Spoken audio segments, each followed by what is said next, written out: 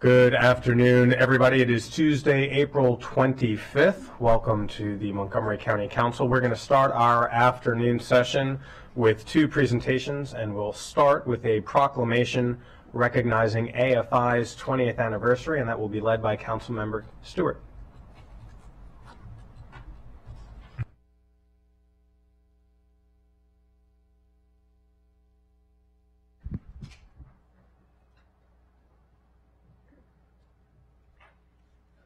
Thank you, everyone. Um, joining us today is Todd Hitchcock, Director of AFI, Tiffany Graham Golden, Director of Marketing and Events, and Abby Algar, Director of Programming. Thanks for coming today. So today we have the honor to recognize a treasure in the county, the AFI Silver Theater and Cultural Center. The AFI has drawn people from around the area and the world to downtown Silver Spring to appreciate, film, learn about the history of cinema, and have a great outing in our vibrant downtown Silver Spring area. Also to build traditions. So today the AFI, or this year, celebrates its 20th anniversary. And I will say that I will always remember the anniversary of the AFI because it's also the year my youngest was born. And today actually happens to be her birthday, so I feel like this is uh, very fitting. Um, because the AFI to our family is also about building traditions. Um, our family lives very close to the AFI, and in December, around the holiday time, it is our tradition to always see It's a Wonderful Life at the AFI. And the AFI gift certificates are always stocking stuffers, uh, st- stocking stuffers in our house. So thank you so much for all you do. And for 20 years, the AFI has provided a source of entertainment, diversion, and reflection through its programs like film festivals, AFI Docs, which draws nationally and internationally acclaimed filmmakers and storytellers to Silver Spring. AFI has also provided an unparalleled resource to young artists in our community to find inspiration, meet others in the field, and refine their skills as part of a national community. We look forward to the next 20 years to be inspired, challenged, and transformed by movies new and old. So congratulations on 20 years. Um, and Director Hitchcock, would you like to say a few words? Well, thank you, Kate, and thank you to the council, and just on behalf of all of us at the AFI Silver, it's been an amazing 20 years, and we're looking forward to everything that the future holds for both our theater and Silver Spring and, and the county at large and the region at large. So thank you very much for honoring us this way. We go, Tiffany, would you like to say a few words? Or, yeah, yeah, okay. Great, and I will uh, read the proclamation. The type is really tiny. All right. Whereas the historic Silver Theater, designed by renowned architect John Eberson, first opened its doors in 1938.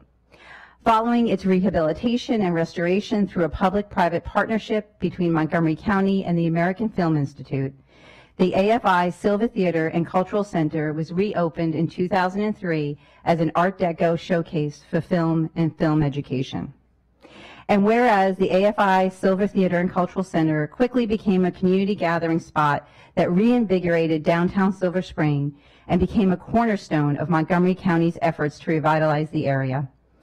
And whereas it is now a state-of-the-art film and digital media exhibition venue and one of the nation's premier film theaters, hosting annual film festivals that bring visitors from across our region and internationally, including the AFI Latin American Film Festival, the AFI European Union Film Showcase, and many more showcases of classic, international, and novel film series. And whereas the AFI Silver Theater and Cultural Center has contributed to the revitalization of downtown Silver Spring and has become an integral part of the Montgomery County arts and cultural scene, dedicated to artists, educators, and general audiences alike. Now therefore be it resolved that the County Council of Montgomery County, Maryland hereby recognizes and celebrates the AFI Silver Theater and Cultural Center's 20th anniversary and recognizes the state-of-the-art moving image exhibition, education, and cultural center dedicated to presenting the richness of American and world cinema, exploring all forms of the moving image in, in the digital era, and serving as a hub for cultural and educational events.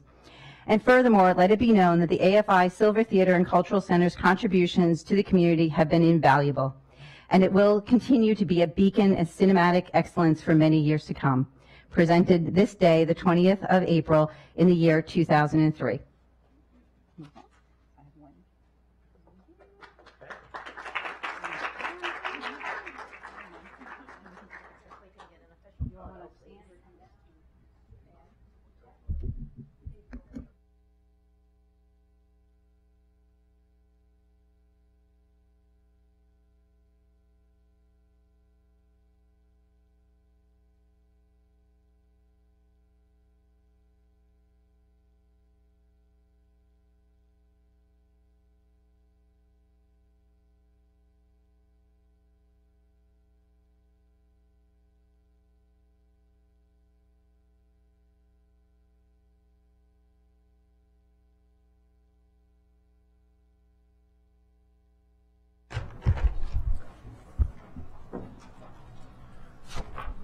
Thank you, Councilmember Stewart, for that, uh, for that proclamation to AFI, for your years of wonderful storytelling, and to Ray Barry also, uh, who recently retired from his stewardship at AFI.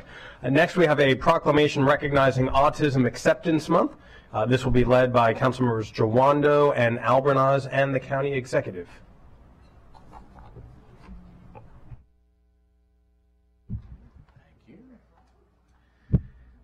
Good afternoon, everybody. Um, we're gonna, I don't see the county executive, but I know he cares about this deeply, so we're gonna get started though, and, and if he joins us, that'll be great.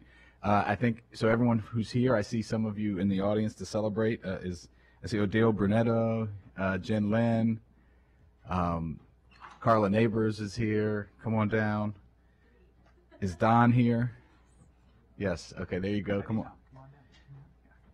Karen Gibson? Everybody who's here for the for the ASD month, come on, come on down. All right. Well, incredibly, it's already good to see everybody. It's already almost the end of April, but we couldn't let it pass without uh, celebrating and taking the time to recognize Autism Acceptance Month. Um, the theme this year is celebrating differences. Uh, and I think that's something that we strive to do very well here in Montgomery County. Um, this is a great moment for all of us individually and as a county uh, to recommit uh, to honoring the unique perspectives uh, for people with autism. Uh, it's imperative that we each use the influence we have to improve equity, inclusiveness at the individual, operational, and systemic levels. I want to break down some of the buzzwords we hear because they have real meaning and they're important. Yeah, come on down, Mark. Acceptance of autism and other neurodiversity leads to inclusiveness.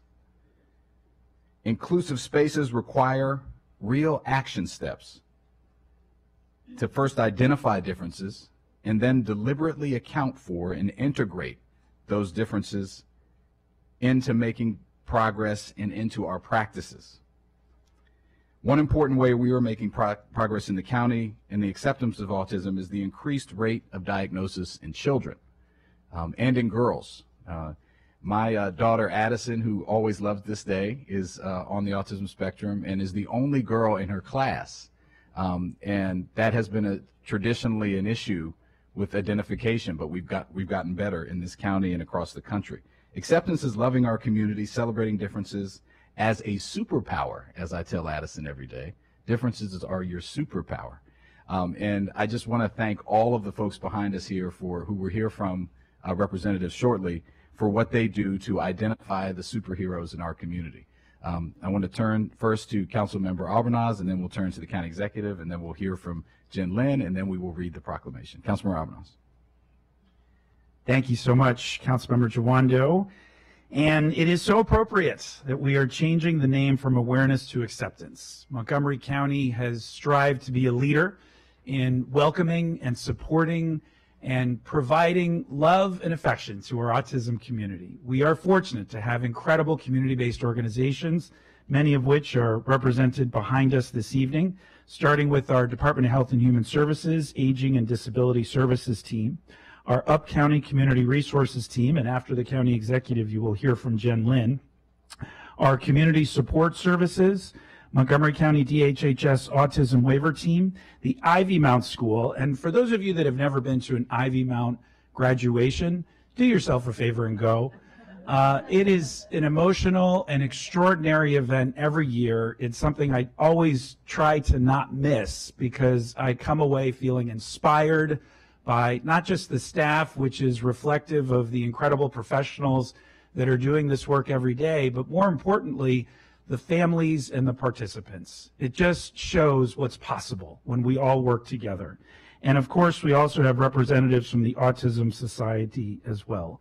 So this is an important month, uh, but it, this is a year-round effort, and we are deeply committed to it on this council.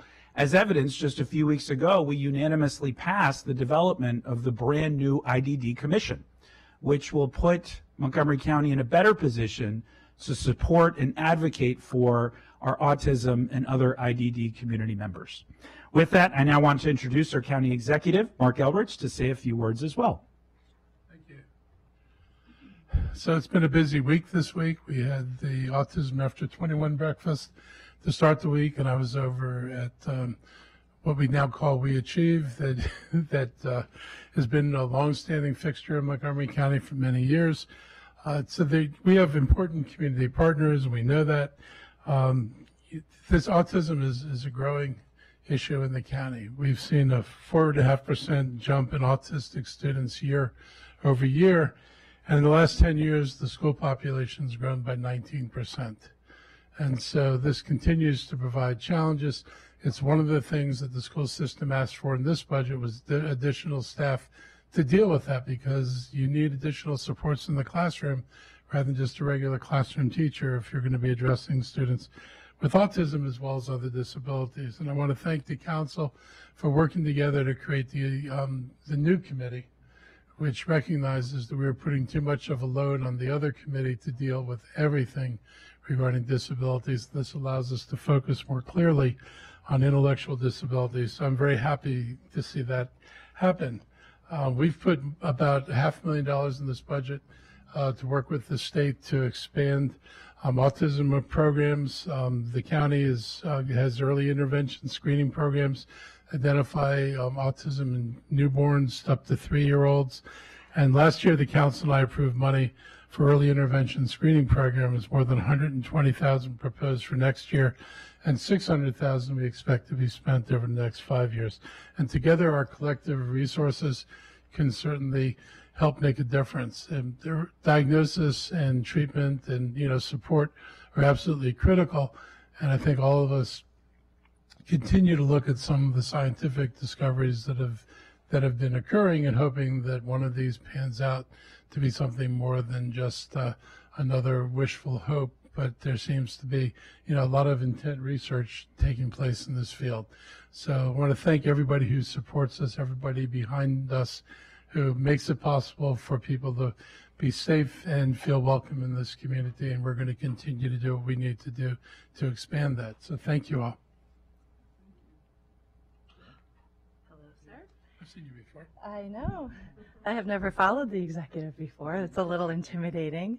I am Jen Lynn, the Director of Up County Community Resources. If you haven't heard of us, we're based in the Up County, my living room, actually. Um, if you wanna really no. Um, it, is a, it is a party. Um, we provide a lot of social activities and enrichment in the way of job training, weekend respite, intensive work skills for all the adults that graduate from high school and kind of, you know, hit that cliff as we all talk about. Um, and I'm thrilled that we can support several hundred families um, in the up county and frankly, people come from all over um, because there's such a great, great need. Um, can I, I've got to read my thing now because I'm shaking. Okay, um, I'm honored to be representing this very special, amazing population, not just the family members, the love, and the loved ones with autism, but look at these advocates. Mon- Montgomery County is very, very blessed with so many strong voices. Thank you to the council, of course, for recognizing Autism Action Month. I just changed the name again. And, um, sorry, sorry. This is- I am very proud of the county and the work we've done over the last few years to bolster resources for our children and adults with autism, as well as the work we have done in crisis response with law enforcement for those with complex autism plus mental health diagnoses, what I tend to call autism plus or invisible disabilities. I'm happy to report that autism now has a seat at the table in many of these discussions. This is a vulnerable population, and we do still need more. Days like today bring hope to our families as more and more lawmakers become aware of the need for housing, necessary hospital resources, employment incentive programs, and opportunities, intensive and lifelong education. That's the key, lifelong education. We're never going to be successful if everything stops after high school. Those with autism, of course, are not the only ones in need. We need to wrap our arms around the families who are exhausted, confused, traumatized, as they're trying to untangle the web of DDA and Medicaid services. As a community, we are thrilled with the formation of the IDD and Autism Commission here in the county. This group will help us gain access to needed support and resources. Thank you to Montgomery County for leading the way and creating the separate commission and for always supporting many of the nonprofits who raise up and love our families with autism. Hope um, having that day, it really, really matters to us. So thank you all very much. Thank you, dear.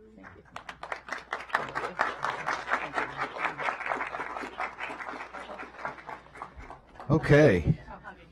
We're going to split up the proclamation here, and I'll start, and we'll rotate between the county executive and Councilman Roberts. You next. You okay? Got it. Whereas autism spectrum disorder, ASD, or autism, is the spectrum of developmental conditions characterized by differing learning abilities, social communication challenges, and repetitive behaviors and patterns of thought, and Whereas 1 in 44 children are diagnosed with autism in the United States, highlighting the need to inform parents and the broader community about the importance of early diagnosis to provide the necessary social and academic support for children to attain their full potential. And Pretty, pretty good enough. Okay, whereas Montgomery County's advocacy organizations and support programs have worked tirelessly to assist individuals experiencing ASD and their families with medical, financial, and other critical resources while working to improve inclusivity in all walks of life and Whereas autistic individuals must be valued and accepted in every corner of society. Neurodivergent people deserve to be confident in their ability to achieve success in their endeavors, given their intelligence, creativity, and talent. And whereas a community that is understanding and accept, accepting of ASD will value the unique qualities and gifts that individuals with autism can contribute in a work or school environment, as well as in daily life. Now, therefore, be it resolved that the County Executive, Marc Elrich, County Council Members Will Jawando and Gabe Albernaz, and the entire Council of Montgomery County, Maryland hereby proclaim April 23, 2023 as Autism Acceptance Month, or Action Month, as Jen said. And be it, and be it further resolved that we encourage all county residents to join in raising awareness for autism support programs and education, and to join us in recognizing and celebrating ASD individuals for their diverse and creative contributions to Montgomery County. Uh, presented on the 25th, this day, the 25th of April, 2023, signed by myself, the county executive, and Councilmember Albernaz. Congratulations to all.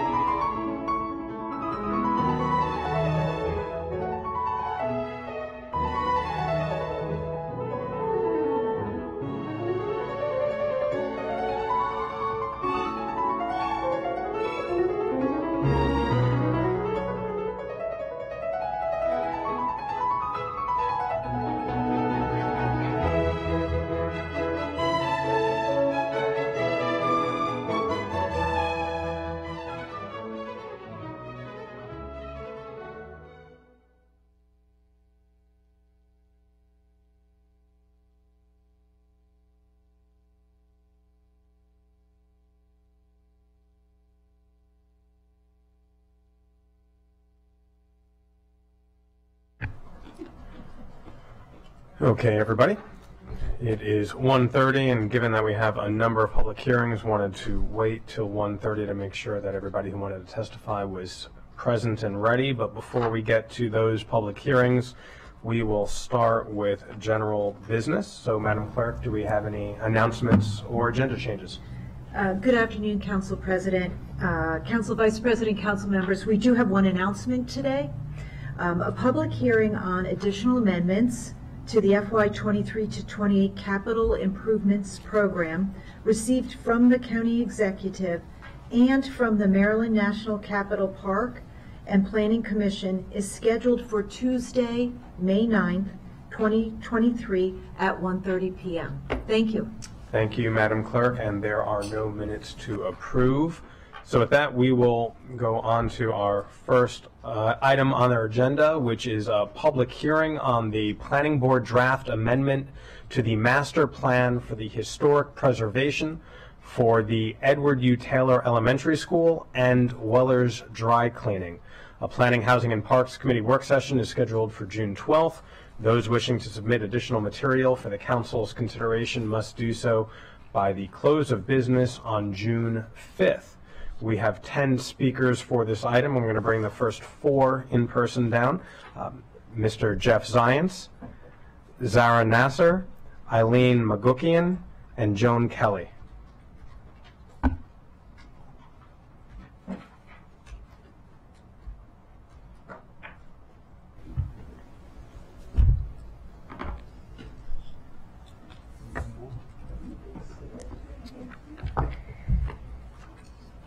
Good afternoon. Chair Zyontz, you have three minutes. Good afternoon. My name is Jeff Zyontz. I'm here representing the planning board as, as chair. Uh, I'm eh, here to support the historic designation uh, of one of the two properties that were evaluated. The planning board recommends that the council designates as historic the Edward U. Taylor Elementary School in Boyds. The planning board recommended the council not designate as historic Weller's Dry Cleaning in Silver Spring. Two recently adopted master plans uh, uh, recommended these sites for evaluation. The MARC Rail Community Sector Plan in, in 2019 did so, as did the Silver Spring Downtown Plan adopted in 22. The planning board reviewed and evaluated each site at duly advertised public hearings. We took testimony from the public and property owners and interested parties. Chapter 24A requires the Historic Preservation Commission and the Planning Board to examine properties against designated criteria, looking at architecture and- historic significance. The Historic Preservation Commission recommended that both meet the designated criteria, and the planning board and council should designate both resources as historic. However, the planning board came to a different conclusion for Weller's Dry Cleaner. The planning board found, that the Taylor School met three criteria dealing with architecture and historic significance, and that the environmental setting, also known as the boundary of designation, could be considered somewhat smaller than the entire parcel. The planning board did not support the historic designation of the Weller's Dry Cleaner site in Silver Spring.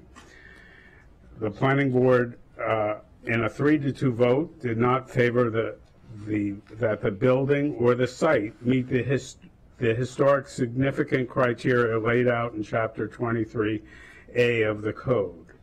I will note that while the planning board and HPC differed in their recommendations, both planning board uh, and the uh, historic preservation reached their conclusion considering the facts and recommendations from staff after taking into account uh, testimony from multiple perspectives. The, the board, under the county code, is to apply the criteria. The council is uh, uh, obliged to undertake its own historic review, and to the extent which the proposed dec- designation achieves the purpose of historic preservation in preserving and enhancing the quality of life in the county. We look forward to participating in your proceedings. Thank you, Chair Zyontz. Ms. Nasser. Good afternoon. Uh, I'm Zara Nasser. I'm here on behalf of the Montgomery County Historic Preservation Commission. Uh, As an architecture and historic preservation graduate living in Montgomery County for 14 years after immigrating to the United States from Iran. I've worked on projects that preserve historic buildings while promoting new development and benefiting owners. Uh, As an HPC member, part of a nine-member team appointed by the county council, our commission consists of professionals specializing in architecture, history, historic preservation, and urban plan, working on recommending amendments to the master plan for historic preservation. HPC strongly believes in preserving architectural and cultural heritage to connect with our past, enrich the present, and shape the future. The HPC urges, urges designating Edward U. Taylor School as a master plan historic site for its role as a rare modern school for black students during segregation in Montgomery County. Its history highlights the closure of small black schools, advocacy for modern facilities, school desegregation, and the African American community's burden in implementing, in implementing desegregation policies. No other MPHP listed properties preserve this crucial history. The HPC also found evidence to recommend designating Weller's dry cleaning site as a master plan historic site meeting two designation criteria with the environmental setting covering the whole parcel. As a rare Googie style uh, architecture example in Montgomery County, it exhibits dramatic angular facade and features vibrant colors and futuristic signage. Preserving the site enhances community diversity and connects to architectural heritage. The proposed designation of this, these sites aligns with the master plan for historic preservation and the objectives of the MARC Rail Communities Sector Plan and the Silver Spring Downtown and Adjacent Communities Plan. Both plans, endorsed by the community, directed the planning department staff to assess the Taylor School and Wellers Dry Cleaning for potential historic site designation. In publicly advertised hearing, the HPC evaluated both proposals, considering testimonies from various stakeholders. Following Chapter 24A, the HPC assessed properties based on designation criteria, focusing on architectural and historical significance. Using staff reports and expertise, the HPC determined both sites met criteria and recommended, recommended the historic designation to the planning board and council. Historic preservation in Montgomery County has been a win-win for property owners and the community for over 40 years, showing that properties can be preserved, developed, or repurposed. Examples like Canada Dry Building and Silver Theater in Silver Spring creates a sense of place, revitalizing the streetscapes and establishing a unique, distinctive location. As a Silver Spring resident, witnessing the preservation of the Village Dry Cleaning site would attest to our community's dedication to honoring its past while embracing its future. It would serve as a constant reminder of our architectural heritage and the importance of preserving the distinctive character that sets our community apart. In conclusion, I strongly advocate for the council to designate both sites as historical sites with the environmental setting, including entire parcel. I extend my gratitude to the council for its dedication to upholding our community's architectural and historical heritage. Thank you, Ms. Nasser. Uh, Next, uh, Ms. McGuckian. Good afternoon. I'm Eileen McGuckian, and I'm the president of Montgomery Preservation, which favors designation of both sites. Edward U. Taylor School and Weller's Dry Cleaning both exceed county standards for designation. Both are significant mid-20th century buildings, but while one, one's future is secure, the other needs protection now. The career of Emory Grove na- native Edward Taylor parallels that of Edwin Broome, who as superintendent chose a supervisor for colored schools. Over 30 years, while Broome expanded to 12 grades and new buildings, Taylor fought for teacher salaries, summer training, and maternity leave. He was principal of the first high school, and in the 1930s and 40s closed small schools in favor of better facilities. Taylor School was a move toward equal treatment just before Brown versus Board. Weller's Dry Cleaning Store is our best surviving example of Googie-style architecture. Its physical presence is crucial to understanding the development of Silver Spring in 20th century Montgomery County. For more than two decades, Weller's has been highlighted in official surveys and adopted master plans and in a publication that should be required reading for all elected officials. I'll loan you my copy. In every instance, County plans called for saving this building. Today, MPI joins a large group of experts and advocates, planning staff, the HPC, and two knowledgeable planning board members. In 44 years since preservation became a public goal, the planning board has mostly ignored the era, an era that brought huge change in commercial and residential development and architectural styles. It is not adequately represented on the master plan, so we are losing icons of period architecture, particularly down county. It is high time to act decisively because when a building is gone, it is gone. Addressing the objective of Weller's owner, the objection of Weller's owner. Owners are key to maintaining an historic property for future generation. Very few laws require owner consent for designation. Neither Maryland nor Montgomery County require it. This is solid ground. The U.S. Supreme Court weighed in more than once on local government's right to enact laws that allow communities to save history and be beautiful as well as healthy, clean, and protected. Over time, owner objections fade as situations change, incentives are availed of, creative new uses are found, and communities recognize preservation as a public benefit. Some county sites designated over their objection of their owners are Silver Spring Theater and Shopping Center, Carver High School and Junior High School, um, College, um, the Riley Johansson, jo the Riley Josiah Henson House. Designation will not restrict this owner from developing her property. Googie Charm will attract customers as part of a future project and designation offers incentives to keep it as the gateway to Fenton Village. Whoever the owner and whatsoever its use, Wellers deserves to gracefully play, age in place. In closing, MPI urges you to act courageously and designate Wellers Store and Taylor School on the master plan for historic preservation. Thank you very much, Ms. McGuckian. Uh, and finally on this panel, Ms. Kelly. Good afternoon, ladies and gentlemen of the council. My name is Joan Taylor Kelly, the daughter of Edward Ulysses Taylor. I want to thank the members of the Montgomery County Council for considering his honor by giving the Edward U. Taylor School building historic designation. We were pleased when one of the four consolidated schools of, for black children constructed in the 1950s was named in his honor. Our pleasure was added when the referral to you by the planning board for consideration of historic designation. The Taylor family and the Boyds community thank the council for considering the recommendation made by the county planning board to make the Edward U. Taylor School one of the historic sites in the county. This building stands as a memorial to him. Edward Taylor came from a family that instilled in him the value of education. Much of his educational training was obtained in District of Columbia institutions. After earning his baccalaureate from Howard University, he returned to his home community and was named the supervisor of colored schools in Montgomery County. His office was in his home, where he assumed the duties and expenses of operating that office. He was involved in many of the initiatives related to the training of Negro teachers.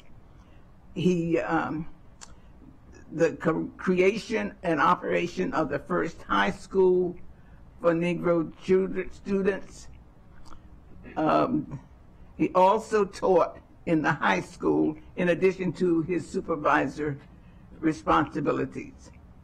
He encouraged community involvement in the education of children and the development of extracurricular activities which broadened students' horizons. The Boyds area is one of historic interest as the Taylor School is adjacent to the preserved Old Boyds Negro Elementary School and next to the Cal Ripken baseball field. The Taylor School is the only formally consolidated Negro elementary schools that housed both white and black students after desegregation from 1950 to 1961. A county official who knew my father paraphrased the expression, quote, there are kings and there are persons who create kings, unquote, unquote. The quote there are community leaders and there are individuals who provide the guidance, guidance for persons to become community leaders. Edward Taylor was that kind of teacher.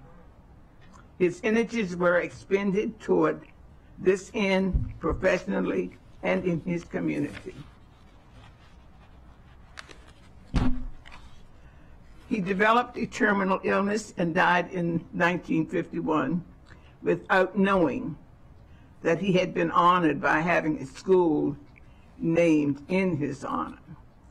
As the sole survivor of his family, I am pleased that he is again having an action taken to honor his memory and to preserve the history of the growth of Montgomery County schools.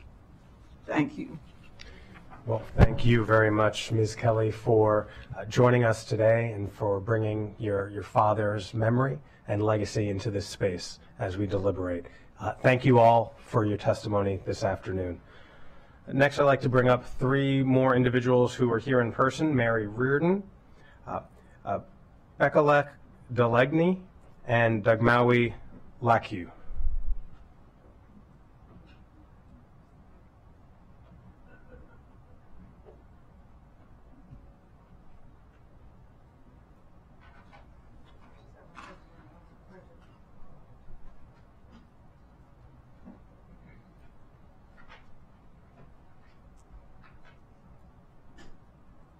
Very good.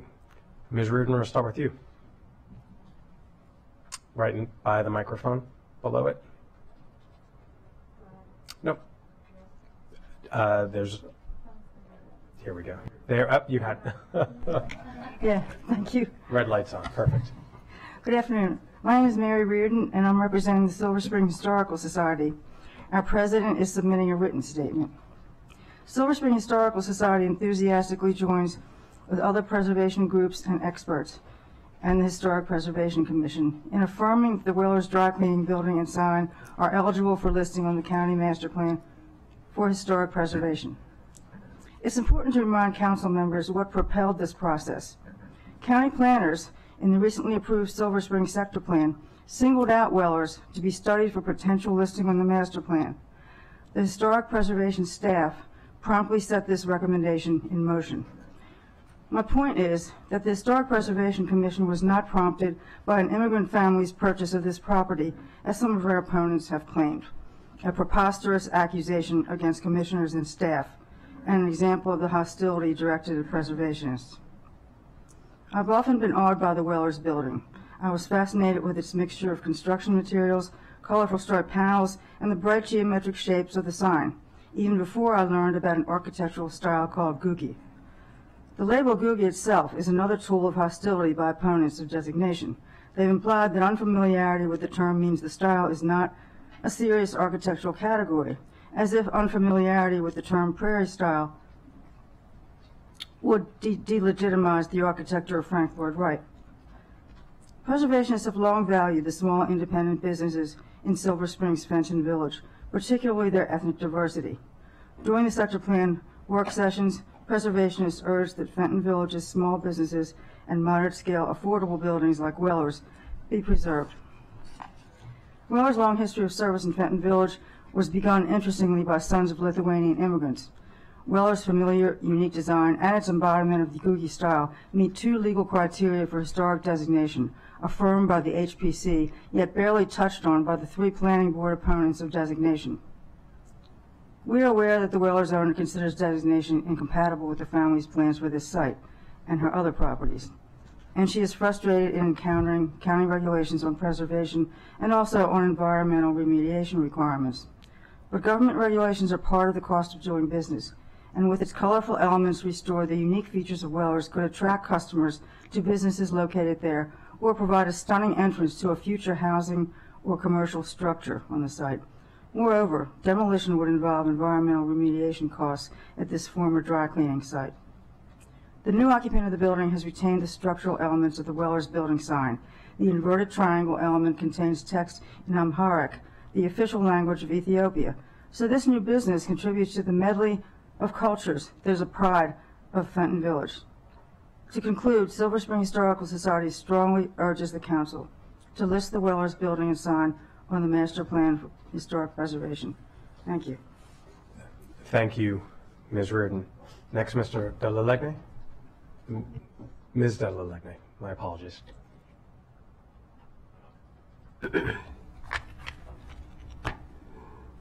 Good afternoon. My name is Bakarish Jalalain. My family and friends call me Becky. I'm an immigrant. I'm a woman. I'm a black woman. As you can hear, you can hear me now. I always have a heavy accent when speaking English. How is this relevant to this case? You may ask. It is relevant because I have had a long and extremely difficult journey to get to this point in my life. I have been discriminated against countless times only because I am an immigrant. I have been kicked and knocked down countless times only because I am a woman and I am black. I have been understood countless times only because I have a heavy accent when speaking English. In the past two hearings, when we appeared in front of the Historic Preservation Committee, I once again in my life saw the very thing I just mentioned, but only this time it was from a group of people who claim to be interested in preserving history. The only history I see being preserved is the same history where immigrants like myself come to this country and work so hard against all odds, only to be told by complete strangers that I don't have the right to do what I want with my property. They are coming, keep coming and telling me that. When I think of the time 8237 Fenton Street was constructed, what did women's rights look like during that time? That is the story, the, the history I see being preserved. In the first two hearings, the staff of the Historic Preservation Committee spoke highly of architect, a man who is from the deep south. What was the history of this country during the time this property was designated and built? I'm sure we can call, agree, it was not pleasant. However, here you are trying to preserve that history. In, in the first two hearings, it looks, it took a lot of strength to hold in my emotion and not say what I really felt. I was crying on the inside and kept telling myself not to speak of these things. But all you are doing now is what everyone else has already done to me for half of my life. This isn't the first time I have faced discrimination, and it probably won't be the last. However, I truly hope that you'll prove me wrong today and deny this request to designate 8237 Fenton Street as historic because there is nothing historic about it. Thank you. Thank you for your testimony. Uh, And final on this panel is Mr. Lackey. Thank you. It's good to be here. This is my mother. Uh, my name is Dagmawi, and I'm an immigrant son to two immigrant parents. My parents, who are the owners of the property, are also immigrants to this country. Before I begin my testimony, I wanted to point out that in the first three hearings, as the owners of the property, we were only given three minutes to testify, barely any time to make our case, while complete strangers and other nonprofits were given seven to eight minutes to make their case against our property. As I said in my previous testimony also, the Historic Preservation Commu- Committee humiliated us in public. We not only didn't have a chance because they had already made up their minds even before we set foot in their room, they had stacked the decks against us. In our last hearing with the planning board, I was beyond shocked to find out that the hearing for Edward U. Taylor School was scheduled on the same day. That was done with the intention that since the Wellers property was so undesirable and had nothing historic about it, the HPC had to pair it with another case, another case with such a beautiful story and huge significance to history, such as the Edward U. Taylor School. By presenting these two on the same day, the HPC can make Wellers look as historic and significant as as well, which it isn't. It's a very disgraceful and sneaky thing to do. Despite all things, you, the council, did not get a recommendation from the planning board to designate Wellers as historic, because again, there's nothing historic about this property. Our 44th President of the United States, President Barack Hussein Obama, once in a speech called himself the guy with a funny name. Yes, we're used to being told no and being treated differently only because we have funny names. But even when it feels like the decks are stacked against us, we still obey the law, never cheat, pay our fair share in taxes, and believe that this place we call home, Montgomery County, does care about people with funny names. We worked so hard to get this far. We worked as parking lot attendants, we waited tables, cleaned toilets, changed diapers, sacrificed, sacrificed a whole lot, obeyed the law, paid our taxes, and the Historic Preservation Committee, along with a handful of people who have nothing to do with this property, want to tell us that we can't grow. We are being told this is as far as you go. That's devastating to even imagine. This is our history, my parents, my siblings, and all of our children's history. I respectfully ask you today to let us write our history and deny this property from being designated historic. Thank you. Thank you, Mr. Lacu. Uh, Thank you all for testifying this afternoon. We now have three individuals who will be joining us virtually. Uh, First is Miriam Schoenbaum. The Boyds Historical Society asks the County Council to designate the Edward U. Taylor School building and property on the Master Plan for Historic Preservation. Forty years ago, the Historic Preservation Commission proposed only including the white part of Boyds up the hill in the Boyds Historic District, which was then being created. According to the Washington Post, the explanation was that a historic district is established to preserve a coherent streetscape, and the properties down the hill in the African American White Grounds community were said not to be architecturally or historically coherent. However, led by Betty Tally Hawkins, whose family attended the one room uh, Boyd School for African American Children and who worked at the Taylor School, the Boyds Historical Society asked the County Council to designate the whole of Boyds as historic, and the County Council voted to do so.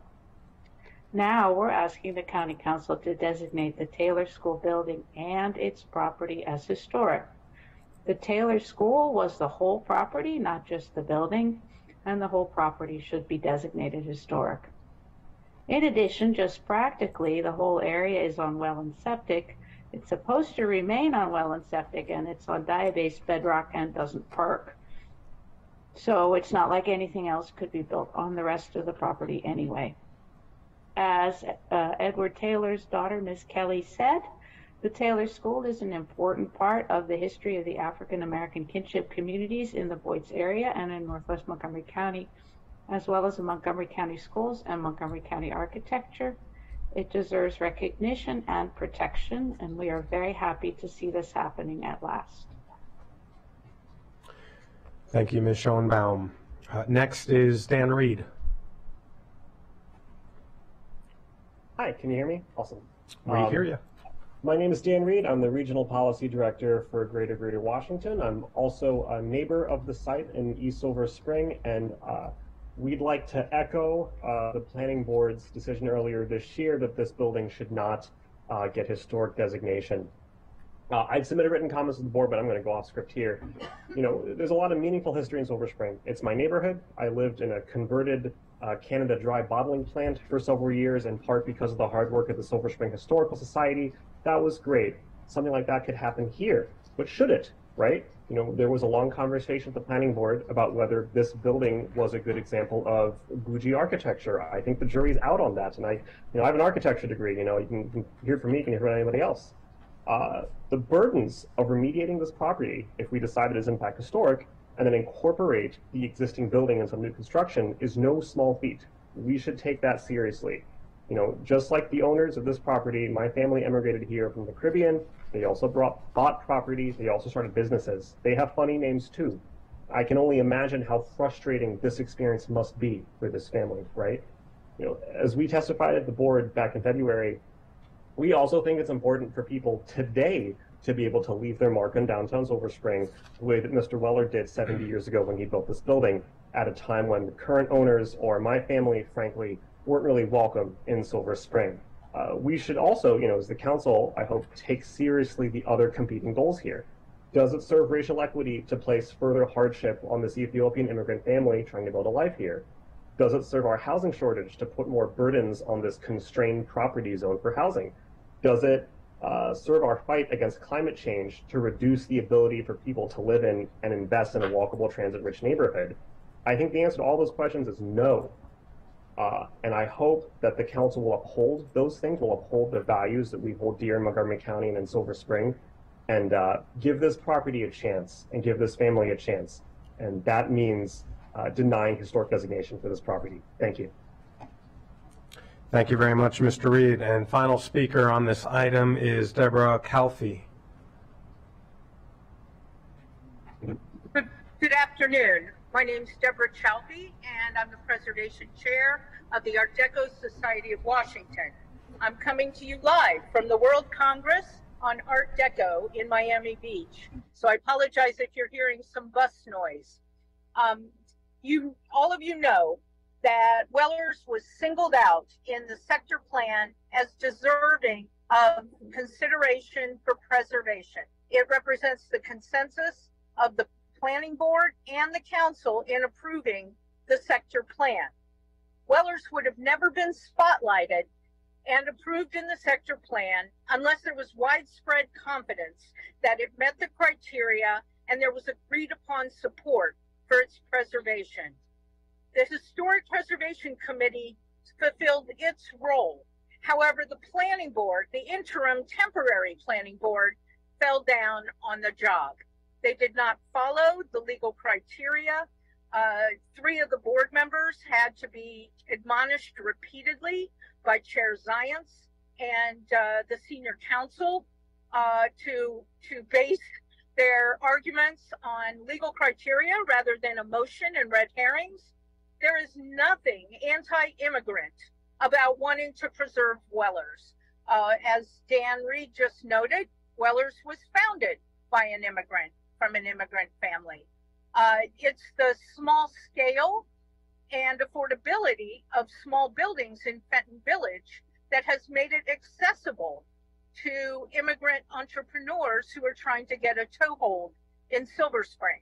So there's nothing anti-immigrant and there's also nothing anti-development about wanting to preserve Wellers. Um, it's not an either or decision.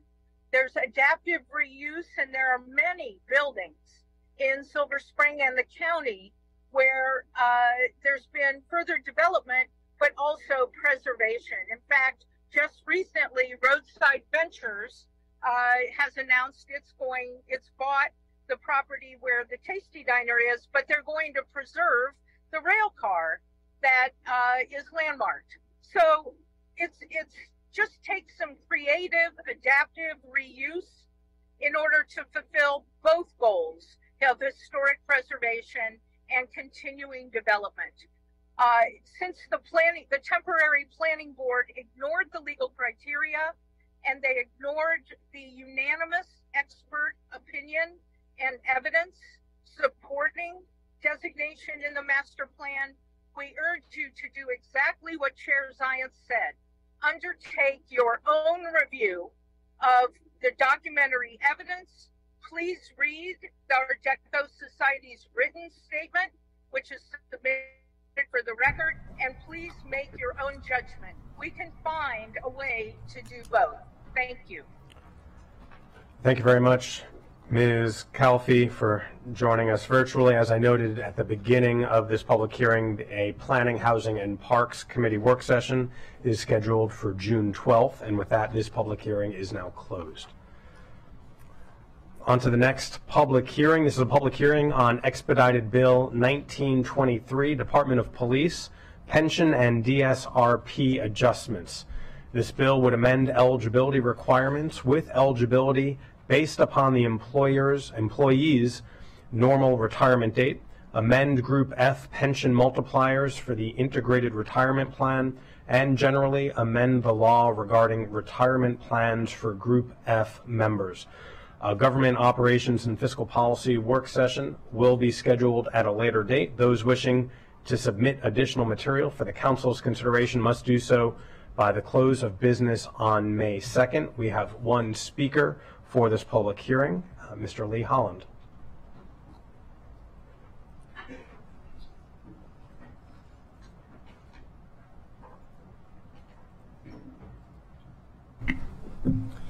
Good afternoon, Council President Glass, members of the County Council. For the record, my name is Lee Holland. I am the president of FOP Lodge 35, and we represent over 1,500 active and retired Montgomery County law enforcement officers. I urge the council to support Bill 1923 pension and DRSP adjustments. As you know, recruitment and retention is a major concern for Lodge 35 and the executive branch. This bargaining cycle, Lodge 35 focused our efforts on providing pay and retirement that will make Montgomery County competitive with neighboring jurisdictions and a place where current employees see longevity. While salary and benefits are not the only issues severely impacting morale, causing retirement and recruitment issues, is an important first step in trying to fix the issue. Police pensions have been stagnant for more than 15 years and has fallen behind many of our neighboring jurisdictions. The last enhancement made to the police retirement was the bargained Deferred Retirement Savings Program. Bill 1923 was bargained in good faith to fix technical issues with DROP keep up with prior changes in Social Security, and to provide a final retirement uh, percentage that keeps Montgomery County competitive with neighboring jurisdictions. These enhancements were bargained to be implemented at different points in, in time in order to make it affordable and to retain members that would otherwise just retire. Again, I would stress the importance of passing Bill 1923, which will help our county fill the large number of open positions within the Montgomery County Police Department. I look forward to working with the council over the next few weeks as this bill is being considered. Thank you. Thank you, Mr. Holland. Um, with that, this public hearing is now closed. Next item is a public hearing on expedited bill 2023 OPT SLT bargaining units, pension and retirement adjustments. This bill would amend Group E eligibility to add eligibility for certain ECC positions to the Group E optional retirement plan and the integrated retirement plan, amend Group J eligibility to add eligibility for certain ECC positions to be designated by the Chief Administrative Officer, amend credited service to provide credited service adjustments for military service, separate Group E and Group J regarding pension multipliers, adjust pension multipliers for Group E and Group J, amend the guaranteed retirement savings plan to default into the guaranteed retirement savings plan certain for certain part-time employees in the OPT SLT bargaining unit, amend the disability benefits plan, and generally amend pension and retirement benefits. A government operations and fiscal policy work committee, uh, committee work session will be scheduled at a later date.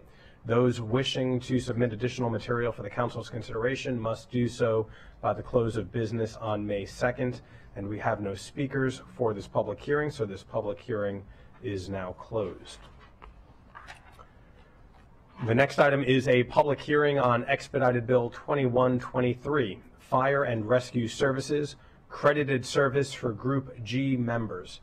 This bill would amend the optional retirement plan and integrated retirement plan pension multipliers in Group G of employees' retirement system, amend the Group G optional retirement plan to provide the same level of sick leave credit benefits provided for county employees in Group G integrated retirement plan, amend the Group G pension cost of living adjustment, and generally amend the law regarding retirement plans for Group G members. A Government Operations and Fiscal Policy Committee work session will be scheduled for a later date. Those wishing to submit additional material for the council's consideration must do so before the close of business on May 2nd. We have one speaker for this hearing, Mr. Jeff Buddle.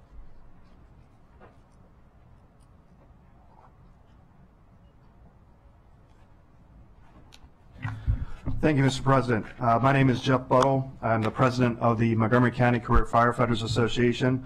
We are a local affiliate of the International Association of Firefighters and represent over 1,100 career firefighters and paramedics employed with the Montgomery County Fire and Rescue Service. On behalf of our members, I'm here to support Expedited Bill 2123. This legislation is necessary to enact the pension changes that were collectively bargained with the county executive. It is part and parcel to the funding decisions that will be before uh, the council uh, later this afternoon on the agenda. And it's important to remember that these changes were part of an overall agreement uh, that was negotiated to address both recruitment and retention issues uh, of firefighters, which we've had uh, many detailed discussions uh, with the Government Operations and Fiscal Policy Committee during the several work sessions that we had on the collective bargaining agreements. Uh, I did have a summary uh, of what the legislation would do, although I think the council president did a fine job in his introduction of the bill, uh, so I won't repeat that. The one thing I would like to note is um, there is part of the uh, legislation that's pending is to uh, fix and correct uh, something that was an oversight on some legislation that was previously passed by this council that had to do with the value of, of unused sick leave that was applied towards pension credits.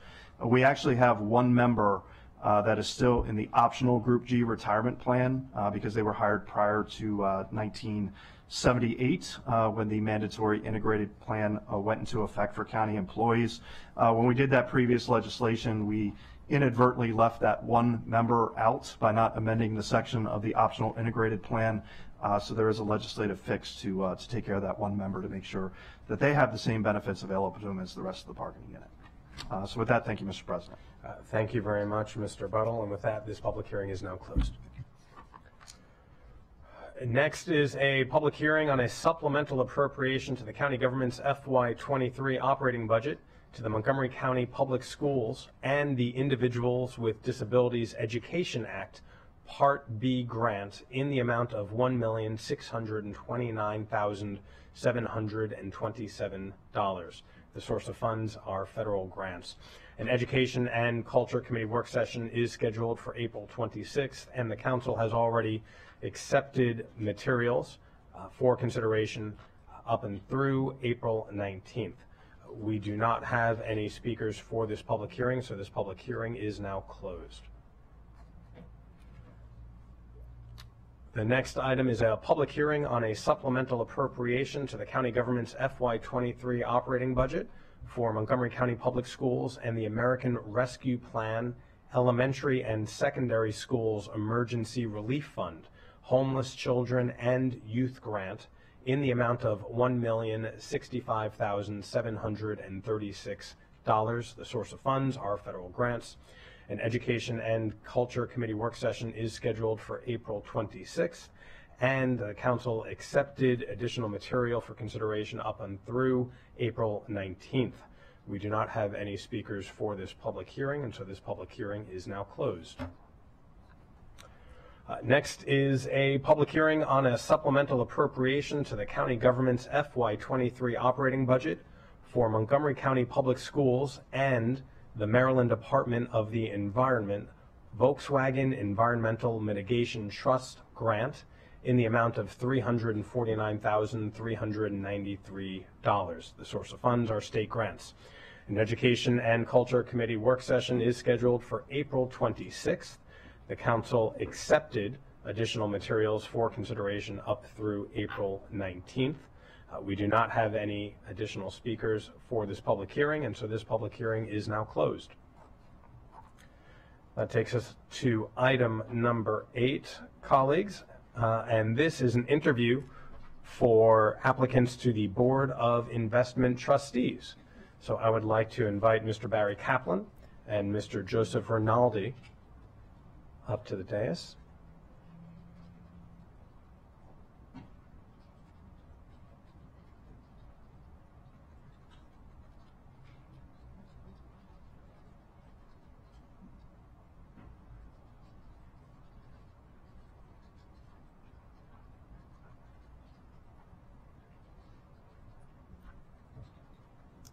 And Mr. Kaplan is here, and Mr. Rinaldi is not here.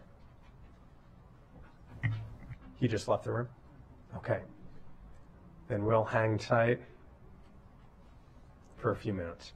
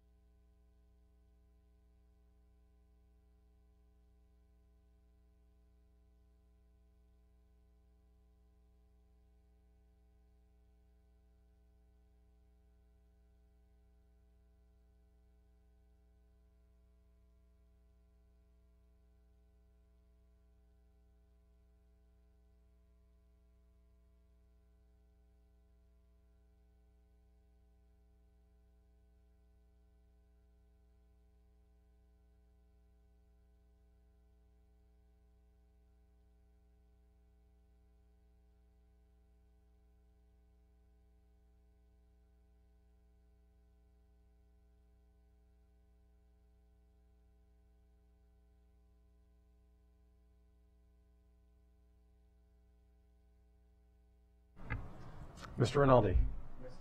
We are ready for the conversation.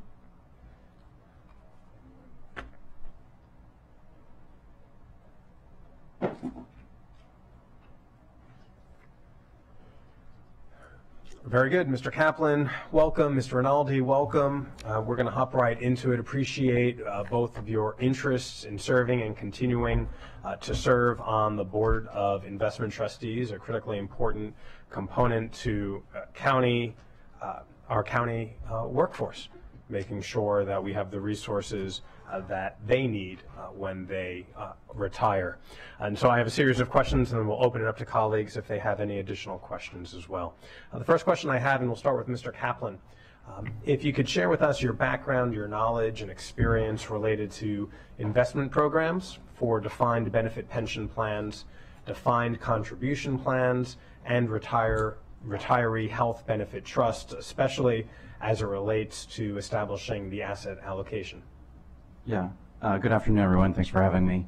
Um, I would say, just for starters, in addition to kind of serving in this capacity for the last three years, um, that experience with the Health Benefit Trust and with the um, defined benefit plan, my I, have been involved in asset management since 2005 when I graduated from business school. Um, when I when I moved to the DC area, I uh, immediately started working for a pension called the National Railroad Retirement Investment Trust. Um, my day job is focused on a defined benefit plan. Um, in that capacity with the National Railroad Trust, I've worked uh, directly with multiple asset classes, asset classes that are also invested in by the kind of the employee retirement system and the health benefit trust. Um, I've been responsible for equity investments, uh, hedge fund investments, and private equity investments. Uh, in addition to kind of asset class specific work, uh, that I've done. Um, I am part of a team at the National Railroad Trust that focuses on asset allocation. So every three years we revisit our capital market assumptions. Each asset class is responsible for putting together their assumptions in both terms of risk and return. Um, and from that, uh, we, we, use kind of a standard mean variance optimization to determine what asset allocation we should be using uh, going forward. Thank, thank you very much, Mr. Kaplan. Sure. Mr. Rinaldi. Uh, hit the button right in front of the mic. There I you knew go. that. Thank you. Um, oh, I thank I thank you all for the opportunity uh, for me to be interviewed here today um, and to uh, serve the community further. Uh, it's important uh, to note that we serve in the same function that you're recruiting us for. Um, I currently manage uh, assets for SMRLA, which is Southern Regional Library Association, a nonprofit. They hired me about four months ago uh, to uh, be a 321 fiduciary for them. And we have several other um, clients in the area uh, in Maryland and Montgomery County as well. Um, we have uh, written um, two policy statements for them um, and brought them into the 21st century, if you will. Uh, and we're very sensitive to um, um, the uniform prudent management of institutional funds, or EUFEMA, as they say. I, I saved EUFEMA for last because when I first heard it several years ago, I go, what is that? Um, but it's very important in the work that we do for other uh, institutions uh, and nonprofits. Um, I'd like to segue a little bit into what's not relevant in my career and start with involvement in the community. You all uh, read my bio, but I just want to mention a few things I think it's very important. Um, we have an intern program that we draw from University of Maryland Hopkins, and we placed 102 students over the last 10 years in full-time jobs investment banking uh, and banks. That's 100% placement. Um, no other uh, outplacement uh, area can can uh, attest to that. Um, we gave desktop computers out to single parents in Montgomery County and even Prince George's County uh, that had their children take classes on their phone, which was unheard of. Um, I am, I was, sorry, an adjunct professor at Maryland uh, Business School for seven years. Uh, I'm over at Hopkins now uh, as a pinch hitter. I haven't taught in a couple of years because of COVID, because I don't like to do virtual. I like to be hands-on. Um, we also feed over 125 homeless people here in Silver Spring Shepherd's Table on a quarterly basis, which I'm very proud of, and I bring my family to serve them as well. Uh, and the reason why I say all this is it's very important to look at the person, the man, the history, and I am an immigrant, by the way, because uh, I heard uh, the last uh, testimony. I think that's important uh, to follow that and mention that as well. Um, we also promote financial literacy. Uh, we've written books in Chinese and English, both in the same book, right? Spanish and English, and we promote financial literacy throughout Montgomery County, PG County, and across the nation. I think that's huge. Um, my career accomplishments I'll skim real quick. You've read my bio. Um, with uh, the FDIC, I served on bank boards, uh, investment committees. I've traded over uh, $40 billion of assets in several asset classes, uh, equity stocks, mutual funds, uh, derivatives. That's my specialty. Um, that's what I teach at uh, Hopkins in Maryland. Um, we also uh, again, write policy statements for many, many retirement plans, and I mentioned one earlier, which is Smerler.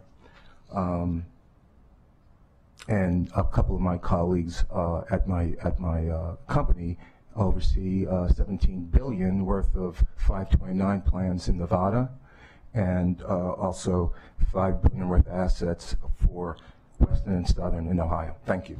Thank you, Mr. Rinaldi. Uh, next question, we'll start with you, Mr. Rinaldi. Uh, what is your understanding of the fiduciary duty of a pension plan trustee? no, your mic was still on. There you go. As the committee knows, there's two different types of uh, fiduciary, 321, 328. Um, 321 is, is, well, in either case, you're aligning your interest along the same lines as the employees. So you have a fiduciary responsibility to educate them, to make sure they understand risk and reward, and that's part of our uh, financial literacy program as well. We ship out books to all employees um, so they can read in their native language, Chinese or Spanish or English. Uh, we currently have Korean and Russian on the, on the short list as well. Um, but the, the, the 328 is where you accept all liability as a trustee and I don't think most plans have that. Uh, But we, uh, as trustees, should make sure which one we want to be, 321 or 328. Thank you. Mr. Kaplan, same question. Yeah, I mean, I think this is uh, pretty straightforward, and I agree with Mr. Rinaldi. I mean, the the responsibility is to the beneficiaries. Um, it's a, a selfless uh, task. You're not thinking of anything regarding yourself. You're thinking about what is best for the beneficiaries. They are relying on these um, retirement payments, and so you have to be mindful of the risk and the assets that you're investing in the threshold should be much higher than what you would do for yourself. Uh, there are times when a, a, pension can take more risk and less risk than you as an individual. And so you have to be thoughtful of, of putting together an asset plan that has the best likelihood of being able to provide for those um, those benefits that have been agreed to. Um, yeah, it's, it's, it's pretty straightforward. Thank you. Uh, next question, we'll start with you, Mr. Kaplan. Uh, what in your opinion, are the most important issues facing public pension fund trustees today? Yeah, I would I would start with um, I, I would say there's there's two things, and one is probably a little bit more topical today than than historically, but but one, and, and it's been mentioned. Um, I, I, think the last several items that were before this were were about you know being um, competitive in terms of retaining and recruiting talent um, of an investment staff um, for the overseers of the, the pension plan. So I think that is that is very important, and that's that's one that's a little bit more topical today than than historically, just due to inflation and competitiveness. The second, and this is a, a this is an evergreen issue, is just about generating returns. So. Um, you know, what you've had most recently is the ability for fixed income products to generate healthy levels of returns you may be able to take uh, less risk than you historically have with your asset allocation and generate similar levels of returns. Um, you know, a lot of practitioners don't have a lot of success or a lot of history recently investing in kind of high inflationary periods. Uh, so that's definitely an issue facing a lot of pensions. And I would say um, the amount of risk taken on the liquid side in terms of uh, private investments, uh, you've seen a lot of um, you've seen a lot of assets uh, drift into higher returning, more liquid, the more the more liquid space in order to generate returns. But you may not need to be doing that as much, um, given given the um, the levels of returns that you're finding in fixed income. Thank you, Mr. Rinaldi. Uh, that's spot on, by the way. Um, we've been shifting uh, and de-risking portfolios for the last year and a half because we recognized the Fed had a, uh, a task to do, which is raise interest rates. So we front-loaded uh, a lot of our uh, focus on uh, bank CDs, and we've been uh, enjoying earning about five to five and a quarter percent for most of our clients in risk-free assets. So hence to his point, um, risk reward is very important, and um, that is a, a unique, unique issue that uh, plagues this industry because I tell clients all, all the time, uh, if you came to me and said, I don't want any risk and I want my money back in 10 years, I would buy a U.S. Treasury 10 year. Any, any textbook in the world will tell you that's risk free. But if you did that last year, you're down 16%. Ouch. Risk free that's huge, huge liability on, on the board's, uh, the trust's uh, uh, shoulders as a 328 because you can be sued very easily for that misleading statement, which is not misleading. I know it's confusing. Risk-free assets being down 15%. Um, that's number one. Also, very few trustees are, uh, are not familiar with uh. Um, which which is very important. Um, and basically, you have to understand in your modeling what happens to fixed income securities uh, on a holding period return basis if rates go up or down and basis points, 50, 100, 300 basis points. Most uh, most boards don't realize that. In addition, if you look at uh, equities, um, what happens to your holding period return when your earnings declines 10, 20, 30 percent Conversely, if it goes up 10, 20, 30%, you have to have a model that takes into account, and that's what UFRMA focuses on, understanding those risks and projecting forward. And I guarantee you, most pension plans don't do that. Thank you very much, Mr. Rinaldi. Uh, The next question for both of you is uh, part ethical disc- disclaimer question uh, and statement. The county executive must not appoint any person who furnishes to pension funds and other institutional investors or any person who is employed by a firm that furnishes to pension funds and other institutional investors the kind of investment services purchased by the boards. Is there anything in your current employment that would create a conflict of interest with your obligations as a member of the board? Or are there any other potential conflicts of interest of which we should be aware? Mr. Rinaldi? None whatsoever. None. Very good.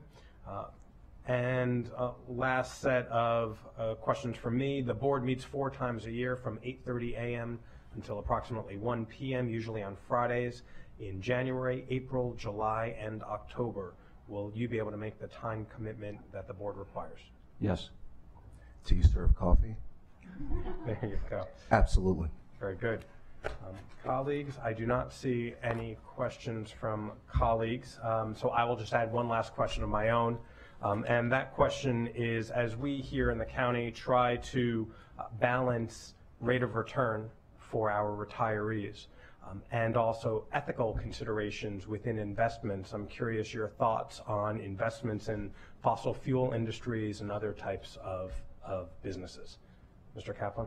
Yeah, absolutely. Yeah, I, I think um, this gets back to your point about uh, fiduciaries, right? I mean, I, I do think the, the primary focus is on doing whatever you can to make sure, doing whatever you can, but doing the responsible thing to make sure that the obligations for retirees um, are, are secure, are secure. To the extent that you can line up um, uh, with that kind of return objective, um, whether it be environmental or social or, or um, governance related matters, um, I, I think there are opportunities to kind of have some very successful overlapping investments.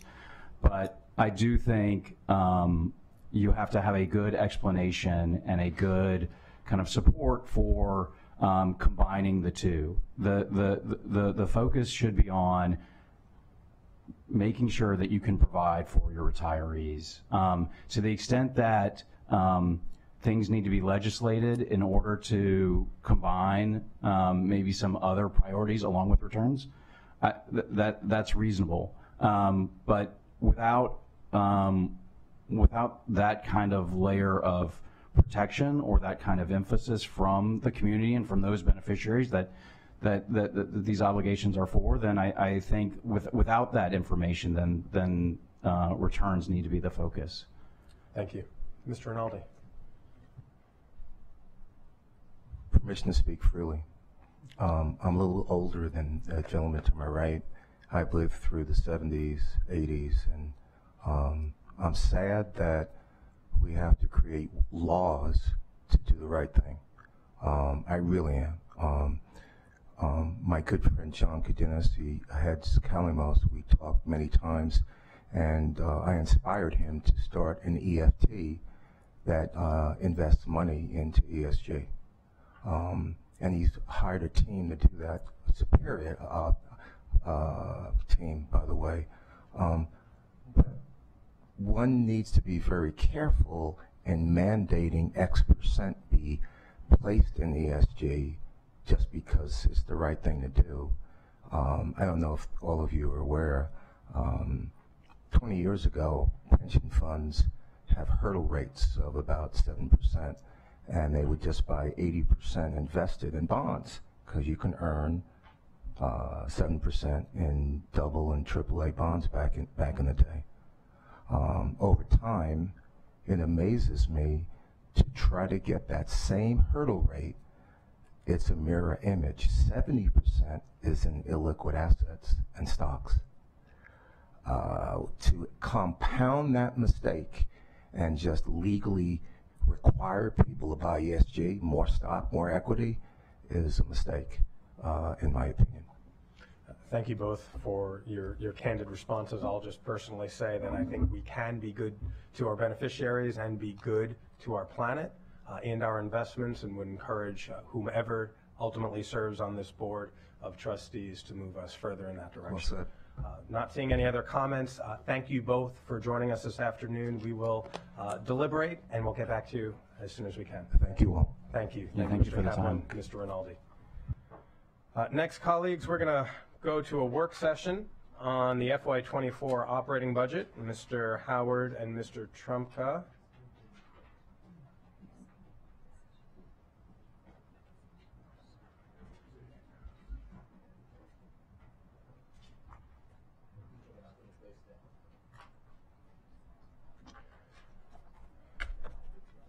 And colleagues, when we last met on uh, April 11th, we got an, an overview on the operating budget. Uh, and in those presentations, it was uh, shared with us the uh, compensation, um, an analysis of the compensation that was included in the county executive's $6.8 billion budget. Um, and since that time, there have been uh, further analyses and um, compensation packages ha- that have uh, been sent over to us. So this conversation uh, is uh, taking us into a deeper dive into those compensation packages um, so that we can continue moving forward with our budget process. I'd first like to turn it over to the chair of the Government Operations Committee, Councilmember Stewart. Thank you very much. Um, So yes, the Government Operations and Fiscal Policy Committee met on April 14th and 19th to discuss compensation and benefits for all agencies and made the recommendations listed in the staff packet. Um, Today, I'm glad that the council staff will be able to provide an overview of the FY24 compensation and benefit enhancements in the executive's FY24 recommended budget. Um, I know first we'll hear about that overview, and then after that discussion, uh, we'll come back to the collective bargaining agreements with the county's three unions, and we'll walk through those. Um, Just so folks know, overall, the Government Operations and Fiscal Policy Committee's deliberations led to a recommendation, three to zero, for the adoption of the resolutions to indicate the council's intent to improve provisions of the county employee collective bargaining agreements, and I'm happy to speak more to this after the um, staff have a chance to talk about um, the compensation benefits overall. I'll pass it back to you, Chair. Uh, Thank you very much. Uh, Councilmember Balcombe. Uh, Okay, so you want to wait, and would you like to wait? Everyone will wait until after the presentation. Uh, So Mr. Howard, we'll start with you, or Mr. Trombka. Yes, thank you very much. Uh, Good afternoon, everyone. So what we'll do is we'll kind of walk through in a a- a shortened, abbreviated version of the presentation we give to the GO committee so the rest of the council can, can hear that information as well. Um, There's, the packet for today is, is very lengthy and very long, so there's the three different segments to it. Um, Section A is the decision memos that the GO committee used on April 19th. Um, Section B, pages B1 through B33, is the primary memo from uh, the April 14th work session, and that's what Mr. Trombka and I are going to use as our kind of walkthrough. So that's, if you want to follow along with us, that's what we'll be talking with. And then um, Section C is some additional follow-up information that was requested at the, uh, the two geo committee sessions, so we can um, discuss that as well if there are any questions on that. And so what we'll do is we'll walk through our presentation, we'll stop for any questions and answers, um, and then we can talk about the specific geo committee recommendations. As, uh, as you mentioned, Mr. President, just as a little bit of the kind of um, stage setting, um, compensation and benefits is kind of one of the first big decision points that the council takes up each year during the budget process, um, in part because of the, the um, statutory deadline for approving the collective bargaining agreements. Um, as we discussed during the budget overview, the, uh, the FY23 annualized costs from last year and then the FY24 costs um, total about uh, 91 or 92.6 million dollars um, overall. So it's a big portion of the of the county's the budget and the recommended budget increase this year. We have received some questions about how does this all relate to the aggregate operating budget and the decision that the, the council will uh, make when it adopts the budget about the, the AOB level. Um, and so we did include some information on that on, on the front page. Um, in general, as you'll recall, in February, the council approved an AOB of uh, 5,000 uh, $686 million, which is an increase of $120 million about over the FY23 AOB. The executive's recommendation for FY24 was um, $6,049 million, or 363 million above the council's approved level. Um, And so as we talked about uh, before, it requires eight votes to approve a budget that exceeds the, um, the the AOB set by the council in February. Uh, The total tax-supported cost of the compensation increases recommended by the executive, if you combine the annualizations with the FY24 adjustments, is about $93.2 million. Uh, So if the council does support these proposed um, enhancements, it will account for around 78% of the, the budget room um, quote, you know, before the AOB is exceeded. Um, So if the council, you know, wanted to not exceed AOB, it would need to make significant reductions in other parts of the budget. So just wanted to present that as a little bit of a stage setting for how some of these different decisions um, interplay with each other and interact with each other. Um, And with that, I will turn it back to our, our memo, uh, the B1 through 33. Um, The initial, we provide some budget and compensation context. Um, We've kind of already gone over that a little bit um, in the April 11th presentation, but just noting that the, the overall tax-supported request for um, compensation uh, is about a 9.0% increase from FY23. And I'll turn it over to Mr. Trump to run through some of the components. So we'll go through some of the details now. We're on page B2 of, of the packet. There are many compensation items in the CE's budget, and there are many details in the staff report. As Mr. Howard said, we're not going to go through as many details as we did in front of the GO committee, but please, if we gloss over an item when we're done, please come back and ask about them. So, rapid fire to go through. Page B2 in the middle of the page, it, the bullets show the range of pay increases recommended by the executive for different employee groups. If you look at the ranges, there are pretty large gaps in those. Generally, what, what we're seeing is that employees at the top of their salary grade would receive pay increases near the low end. Employees who will get a special pay increase, like a longevity increase or a past year increment, would receive pay increases at the top end of the range. But overall, the majority of county government employees under the executive's budget would qualify for pay increases in the neighborhood of 10%. There's a table on page three that summarizes the major increases, but we're going to jump to page four for more of the details, starting with general wage adjustments. For MCGEO members and non-represented employees, the executive recommends two GWAs, um, 3% in January of 2024, and a second one of 3% in June of 2024. For IAFF members and Fire and Rescue Management, the executive recommends a single GWA of 3.2% in July. You'll note this is lower than it is for other employee groups, but that's because there's a salary schedule adjustment also for IAFF that we'll get to shortly. For FOP members and the members of the Police Leadership Service, the executive recommends two GWAs totaling 7%, 4% in July, followed by another 3% in January of 2024. On the bottom of page four, B4, we show the histories, uh, history of GWAs over the past decade. And on page B5, we note about the relationship between GWAs and inflation. And that is that historically, there's been actually minimal correlation between the rate of inflation and the GWAs awarded. In fact, in most recent years, the GWAs have exceeded the CPI, the Consumer Price Index, for the previous year. What we did was we looked back going back a decade, and what we found was over the past decade, the compounded GWAs for all employee groups has exceeded the rate of inflation. Service increments, all employees other than management leadership service, police leadership service, and others who are top of grade are eligible for a service increment. The executive recommends 3.5% for this year. Past year service increments, so a little bit of history. The council did not fund service increments for any county employees in FY 11, 12, or 13 because of the fiscal constraints associated with the Great Recession.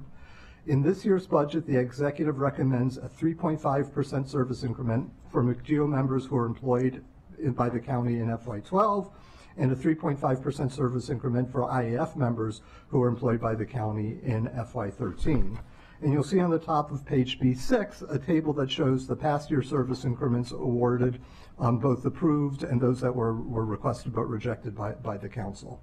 We do note that the executive refers to the FY12 and FY13 past year service increments in, in his budget as postponed.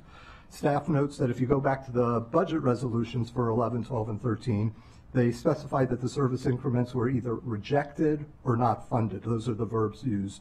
Um, there's no mention of postponement or deferral.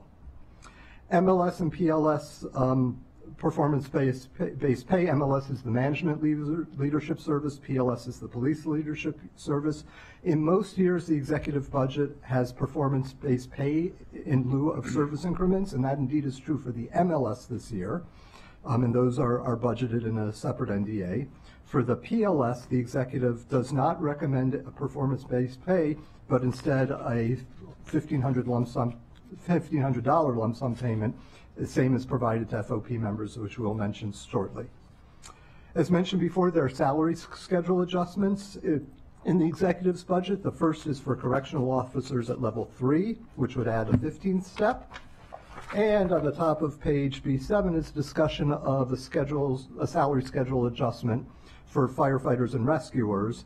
In, in short, it would be a two-step increase, two steps up to, um, for, for the first 13 steps of firefighters, rescuers, and a single step increase for, for those at the top. There are longevity increments in the executive's budget. Longevity uh, increments go to employees who have worked a specific number of years. And the table on bo- bottom B7 shows that it's a very different arrangement for different em- employee groups. In some, what the executive's budget is for MCGEO members, both public safety and non-public safety. The executive's budget would raise the amount of the of the um, longevity increments, add a third increment and change the schedule a bit. For non-representative, the executive would raise the amount and add a second longevity adjustment. Bottom of page B8.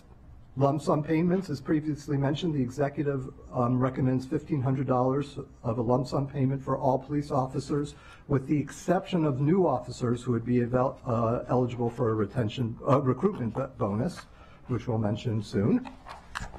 Moving forward, top of page B9, continuing on to B10, there are many miscellaneous pay and benefit adjustments that we've just bulleted here. The details are in the, are in the contracts and in the, in the budget.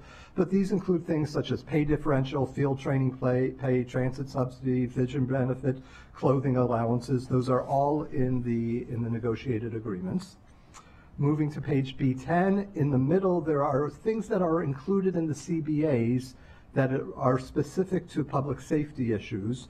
Most of these will be discussed in front of the Public Safety Committee, um, but for, for this discussion, just do want to note what was mentioned before, that there's a recruitment and lateral entry bonus of $20,000 for new police hires. Moving on, the cost of the pay adjustments, or more specifically, the fiscal impact. You'll see a table on page 11 that continues on to page 12. What this table does is it lists the fiscal impact of specific pay and benefit adjustments. Um, There's a list of the total costs. that includes both tax-supported and non-tax supported, and then a separate column for just, for just tax-supported. Each of those have columns for FY '24. The FY '24 dollar amounts, those are the amounts in the CE's budget for the upcoming fiscal year. But you'll also note a column in each side for annualized costs. And that's there because many of the um, recommended items do not take effect until the middle of the year or near the end of the year. And so the full costs are not realized until the next year. Um, The annualized columns, really what they show is the impact of the FY '24 pay and benefit increases on the FY '25 budget. And on page B12, you'll see the totals, $61.1 million total cost in FY '24, and the annualized cost of just over $100 million. And of that tax supported, the numbers are 51.6 and 79.8 respectively. We do note that the executive's um, budget does include multiple pension plan en- en- enhancements. And so the numbers we showed in the chart, in the, in the table, match what is in the fiscal impact statement provided by the executive.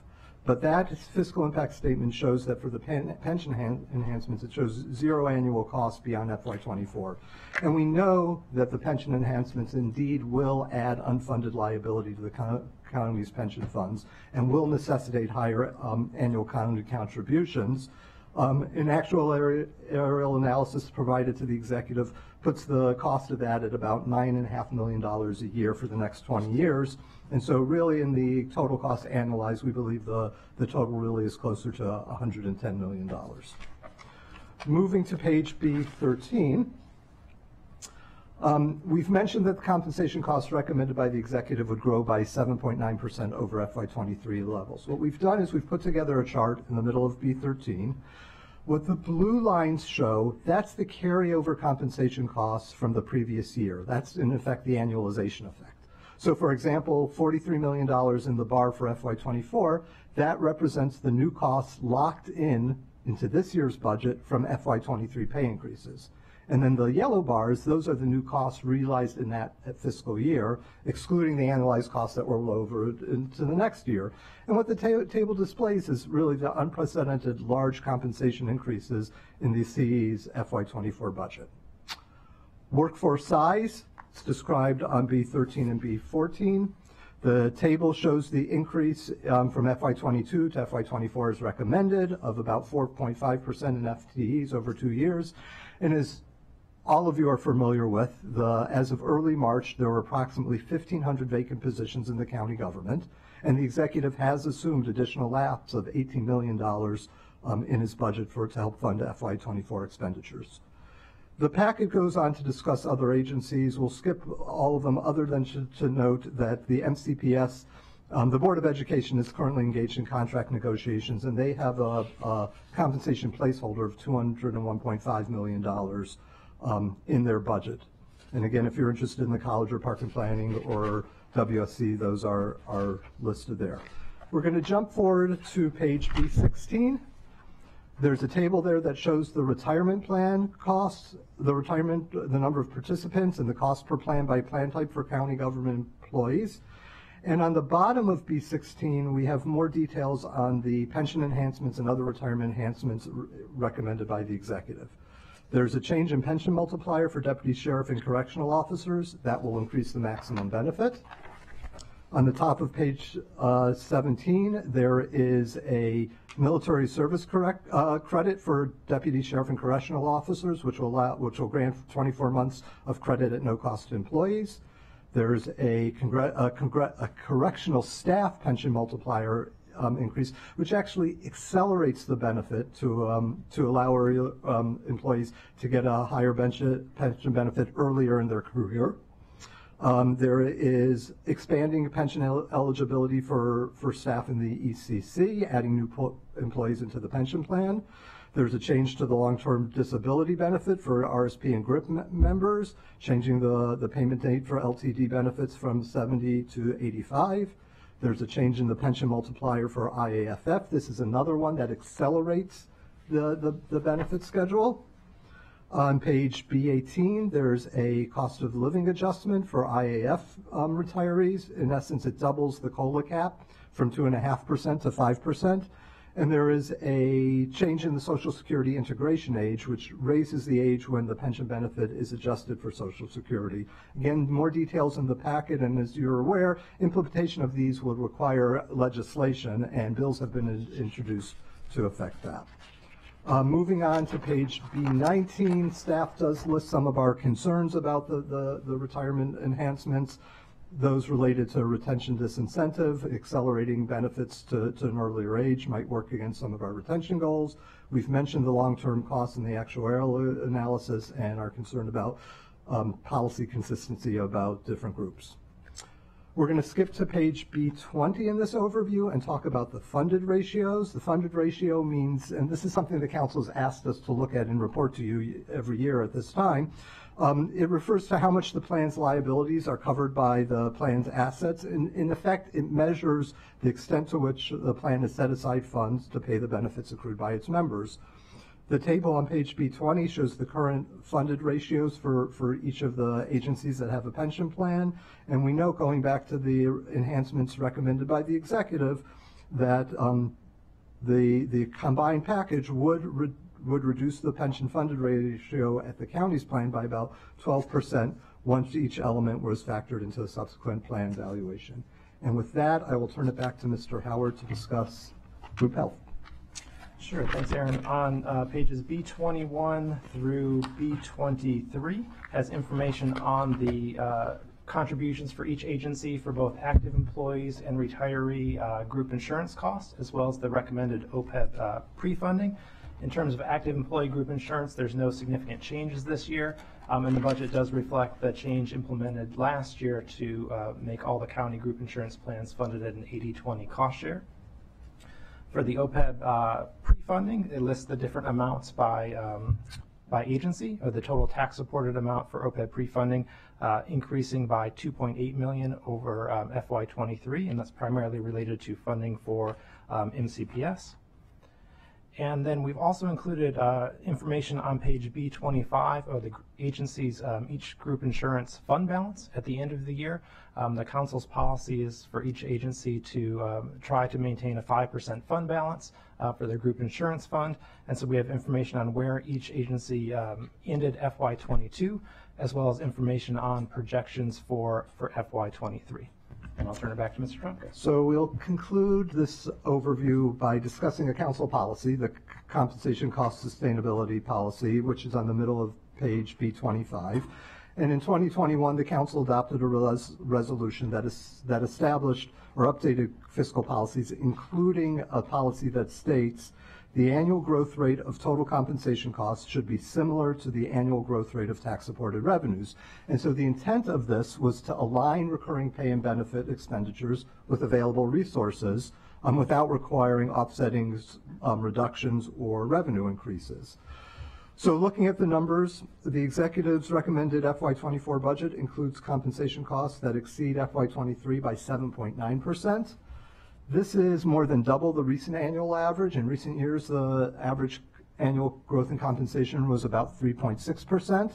And so what we do is we compare that according to the, the sustainability policy with projected revenue growth, which the executive's budget showing, shows growing at about 2.8% annually. That's excluding the, the recommended property tax increase because, of course, those dollars are reserved not for, for county government, but for MCPS. So to, to test the sustainability, we compared two spending patterns. First, we compared what would happen if compensation growth grew at 7.9% as recommended by the executive in FY24. And then we followed that by each of the next five years, what would happen if growth reverted back to its previous average of about 3.6% per year. Against that, we compared what compensation growth would look like if it grew at the same rate as revenues. And so the results are shown in the table on the bottom of B26 and the graph on the top of B27, and it does reveal a, a significant, significant sustainability gap. In FY24, the budget would spend $65 million above the council's definition of sustainability. Over the six-year period, that gap would increase to um, nearly $600 million. And so our conclusion on, on page B28 is that the spending pattern as recommended does produce a sustainability challenge with an outcome of, that a recurring trend of this sort um, would cons constrain the county's ability to meet future spending priorities, including future pay adjustments, and necessitate um, raising revenues. Um, with that, we'll conclude our presentation. Again, many more um, items that are discussed in detail, but for this presentation, I think we'll stop here. Okay. Thank you both, Mr. Trombka and Mr. Howard, for, for that thorough presentation, uh, walking us through it and uh, all the number crunching that you did in preparation for, for this conversation. Um, one of the things that you'd said uh, that, that struck me was trying, uh, was looking historically at CPI and how that, um, using that number um, and seeing uh, how our compensation fared in relation to it. And, and I think that that's important for, for framing this conversation because right now we know that we are in record, we have record uh, inflation. Uh, and it is difficult to try to create a, a, compensation policy over the last year and looking out into the next year uh, while we are still undergoing this um, macroeconomic situation. Um, it, it is tricky. Uh, but we know at the base level that we have a vacancy rate that is uh, that is extremely high, with nearly 1,500 vacancies in government. People, uh, positions that have been unfilled for various reasons. One of which we know is compensation. Another is cost of living in the DMV, and particularly Montgomery County. And so we have to figure out what our compensation policy should be to support those who work for the county and to make uh, our uh, employment uh, to make our employment attractive to prospective employees. Um, our, our county residents deserve deserve that level of, of work. And so let me just pivot uh, to the 1,500 vacancies that we've identified. Uh, and as we've been going through the committee work sessions, I've been following the, the committee's conversations, and on any given day, I know there's between 1,200 and 1,500 vacancies. Uh, and so to pinpoint it on one number, we'll say approximately 1,500.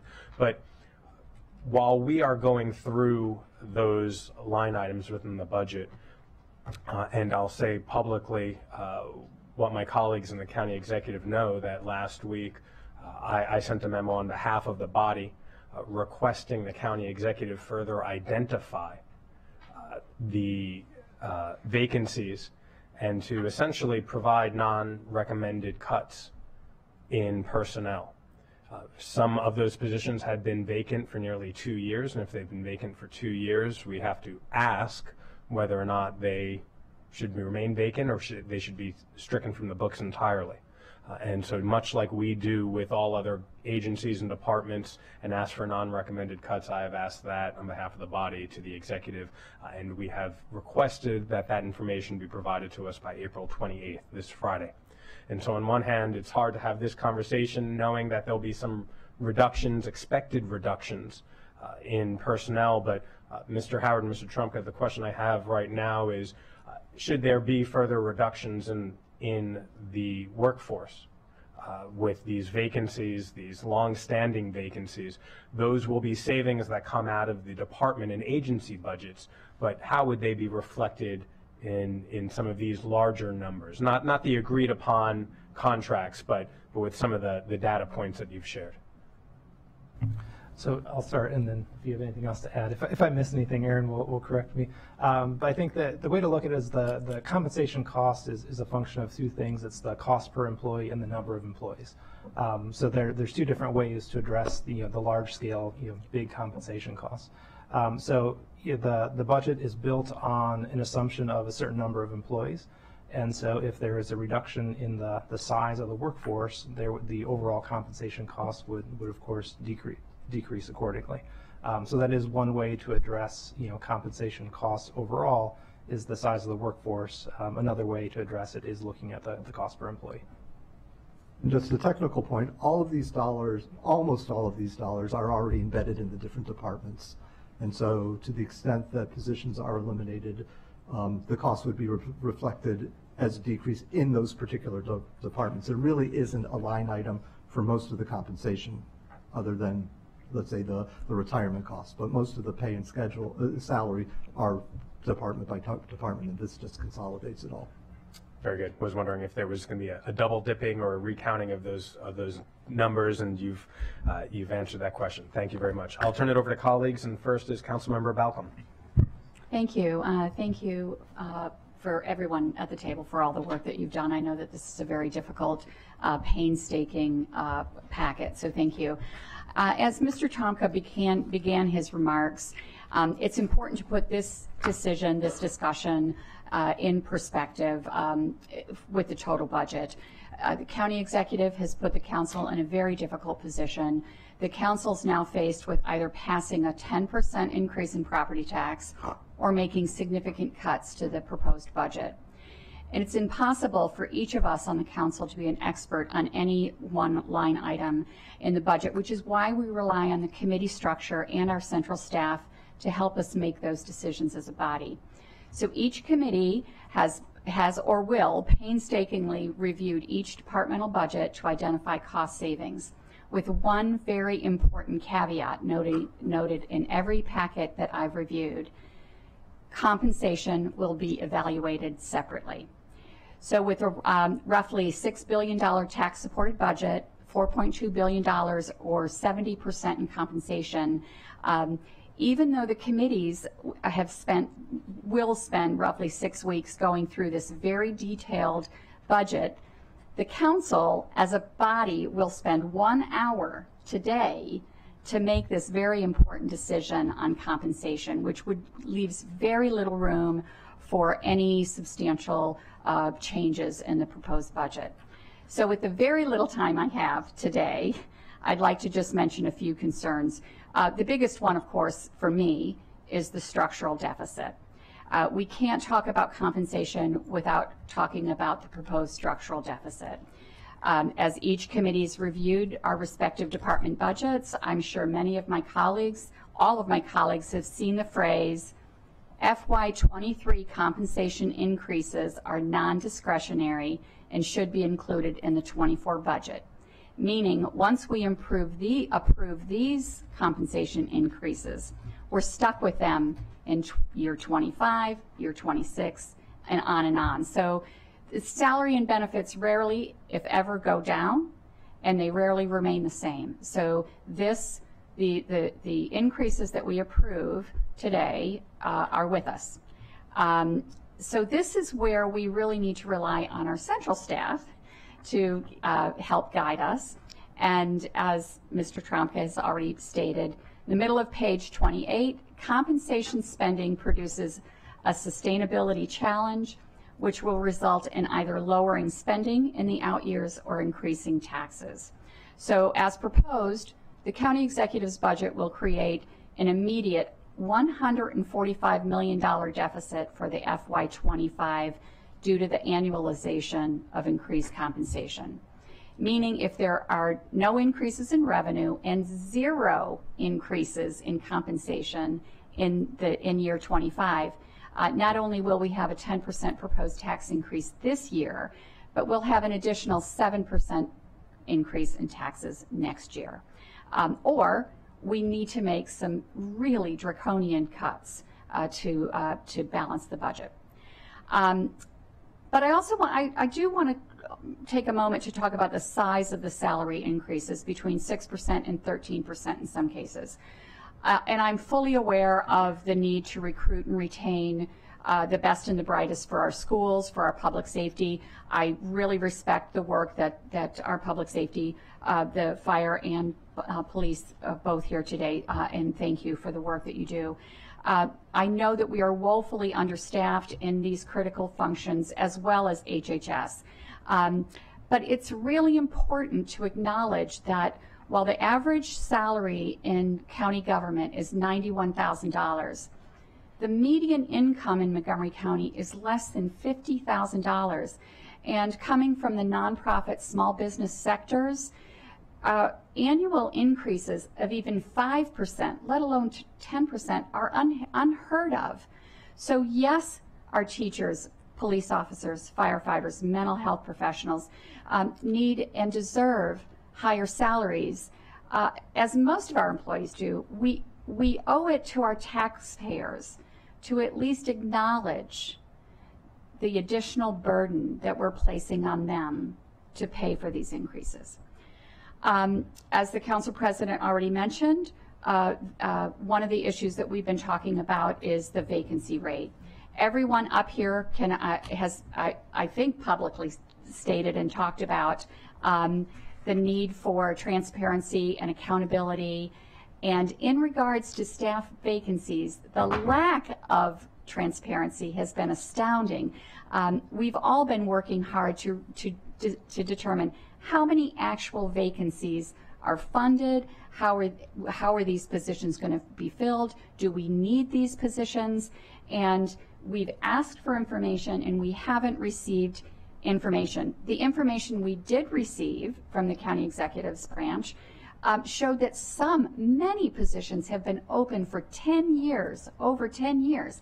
And when we delve into that data, there's a lot of nuance and it comes comes to pass that maybe they are, maybe they aren't. So we have to have better, clear, correct data on these vacancies. Um, so take a breath. um, to to the decisions at hand, I just want to mention two issues that were brought up in the packet, um, and one is the um, past service increments, what are sometimes referred to make-up steps. Um, I, I'm just adamantly opposed to this practice. Um, uh, as for those listening, um, what this means is that in past years, in this case, FY12 and 23 over 10 years ago, the council rejected um, increment increases. Um, And uh, we're now expected to, to um, make up those in- increments, even though that, even though they were rejected. I know it's a very small amount, um, and I'm not going to reject the, the, the proposal. I just think that it's a, it's a, um, just uh, not a very good uh, policy for us to have to go back. Uh, once it's once something that, a council is rejected, a council long go, long, none of the people up here are, are from that council. Um, so I think that that's just a, a, a, a, a poor way to, to uh, work through this budget. Um, and then I also, uh, just briefly, lastly, I do have a concern with moving some employees, um, additional employees into the defined benefit plan. These are employees from the Emergency Communications Center. Uh, defined benefit plans are, um, uh, the county moved away from them a, a long time ago, uh, over um, 30 years ago, for important reasons, relevant reasons um, that are that are even more relevant today.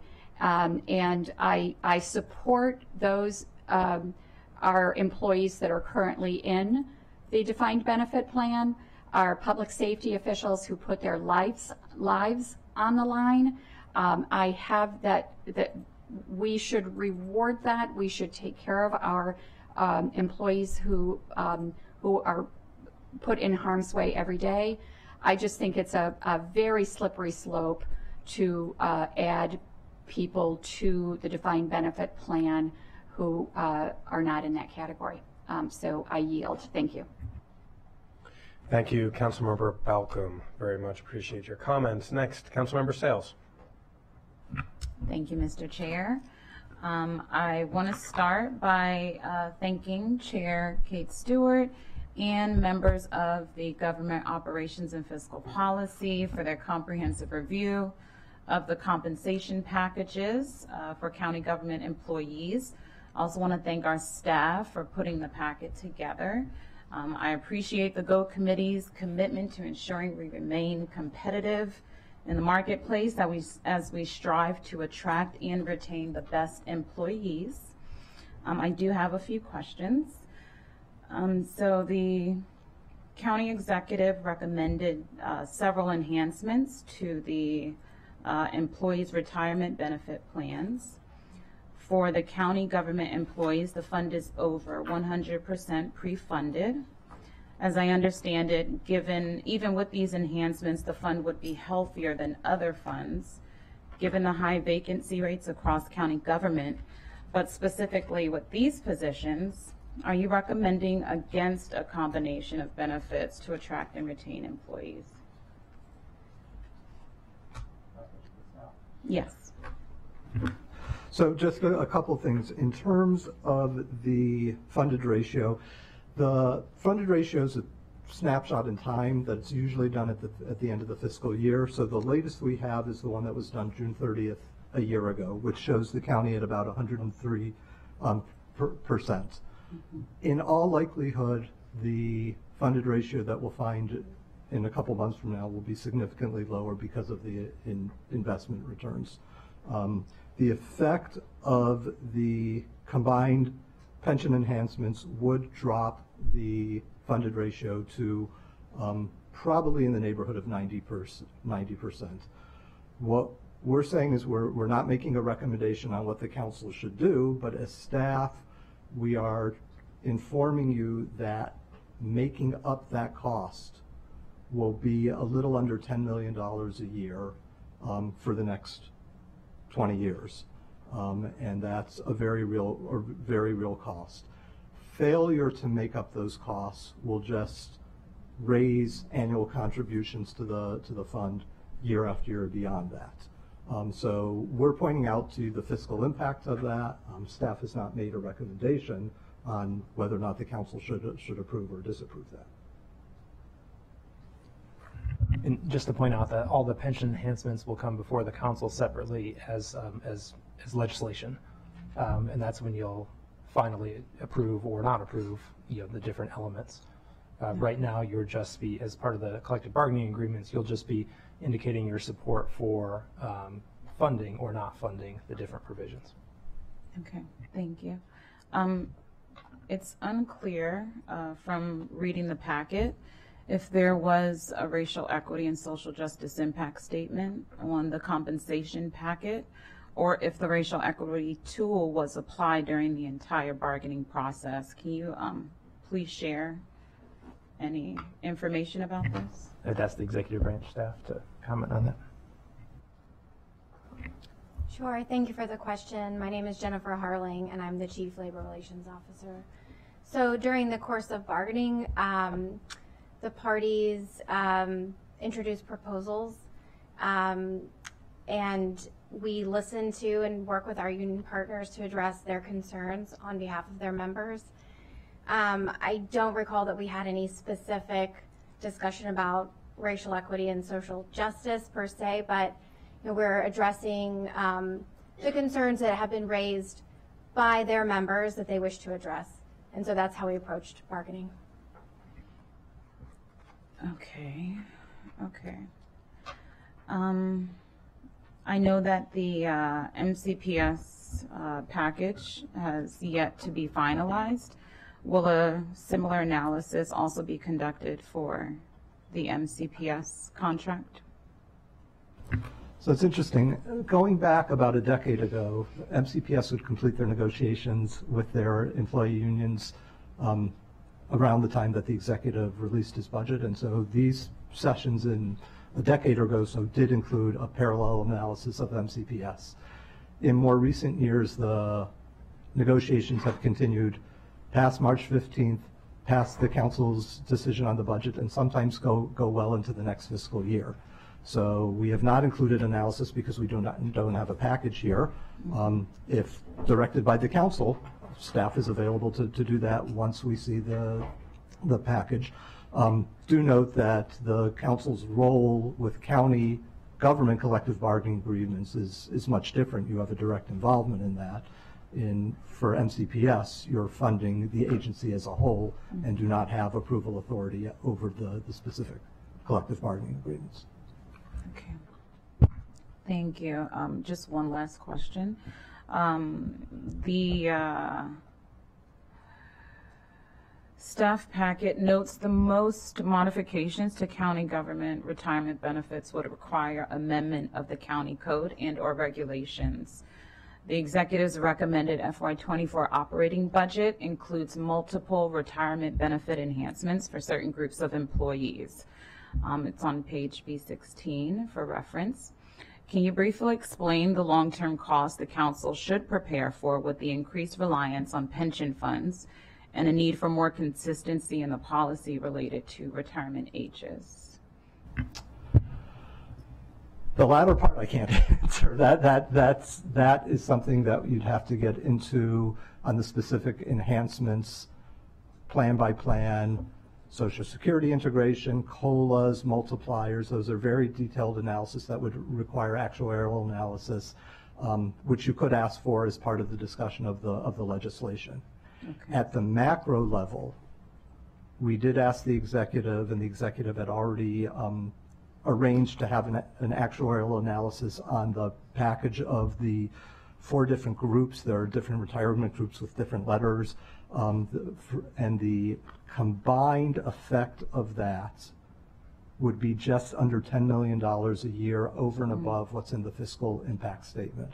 And what that $10 million would do would be to, to use a little bit of a technical term, to amortize the unfunded li- liability, to restore the, the, the health of the fund to where it was prior to these, to these pension enhancements. Because what you're doing with these pension enhancements is you're giving employees a benefit that they have not, neither they nor the county had contributed to in past years. So generally with a pension over the term of an employee's tenure with their employer, both the employer and the employee are putting money into the fund to pay for this benefit. When you enhance a benefit um, mid-career for a person, then he or she will have accrued that benefit, but will neither the employee nor the employer would have contributed. And so that's what fil- creates what's known as unfunded um, liabilities. And to amortize, to put those to, to, to recover from those, it would take about 20 years at just under $9.5 million a year to do. Okay. Thank you, I yield. Uh, Thank you very much, Councilmember Sayles. Next, Councilmember Albornoz. Thank you to the GO Committee for great work. Uh, Thank you to Mr. Trombka and Mr. Howard for your great work as well. This is not a glass half full presentation, uh, but an important and sobering one. And obviously, uh, I don't disagree with any of the analysis. So four years ago, I joined the majority of the council in turning back the labor negotiated contracts that had been done at the time. Uh, That resulted understandably in a lot of anger and frustration uh, from our brothers and sisters in labor, and, and frankly, a lot of free career advice too. Um, but it was um, uh, it was necessary uh, at the time because I was concerned about uh, the implications of uh, the very significant increases that had been proposed. Um, and I shared at the time, and will continue to share my experiences having gone through the recession. Um, 12 years ago when we had to let a whole bunch of really great people go, uh, and it caused huge disruption in overall county government. But this is different than it was four years ago. And both things can be true. What Councilmember Balcombe said so eloquently uh, in her expressing concern about the fiscal cliff that has clearly been identified correctly within this report if we continue on this path without increasing revenues in some other form or fashion but it is also true that the last three years have been, un- have been unprecedented in the history of the delivery of services in county government. And our greatest asset that we have as a government is our employees. And that's true in the council. Uh, we only operate effectively because of the work of our staff, who are dedicated public servants and work tirelessly on the behalf of residents every day. Montgomery County has set a high bar for governments across the country, for local governments across the country for generations. And we cannot do anything to go backwards because if we do, then our credibility as a government in the delivery of critical services that in some cases are life-saving services will diminish.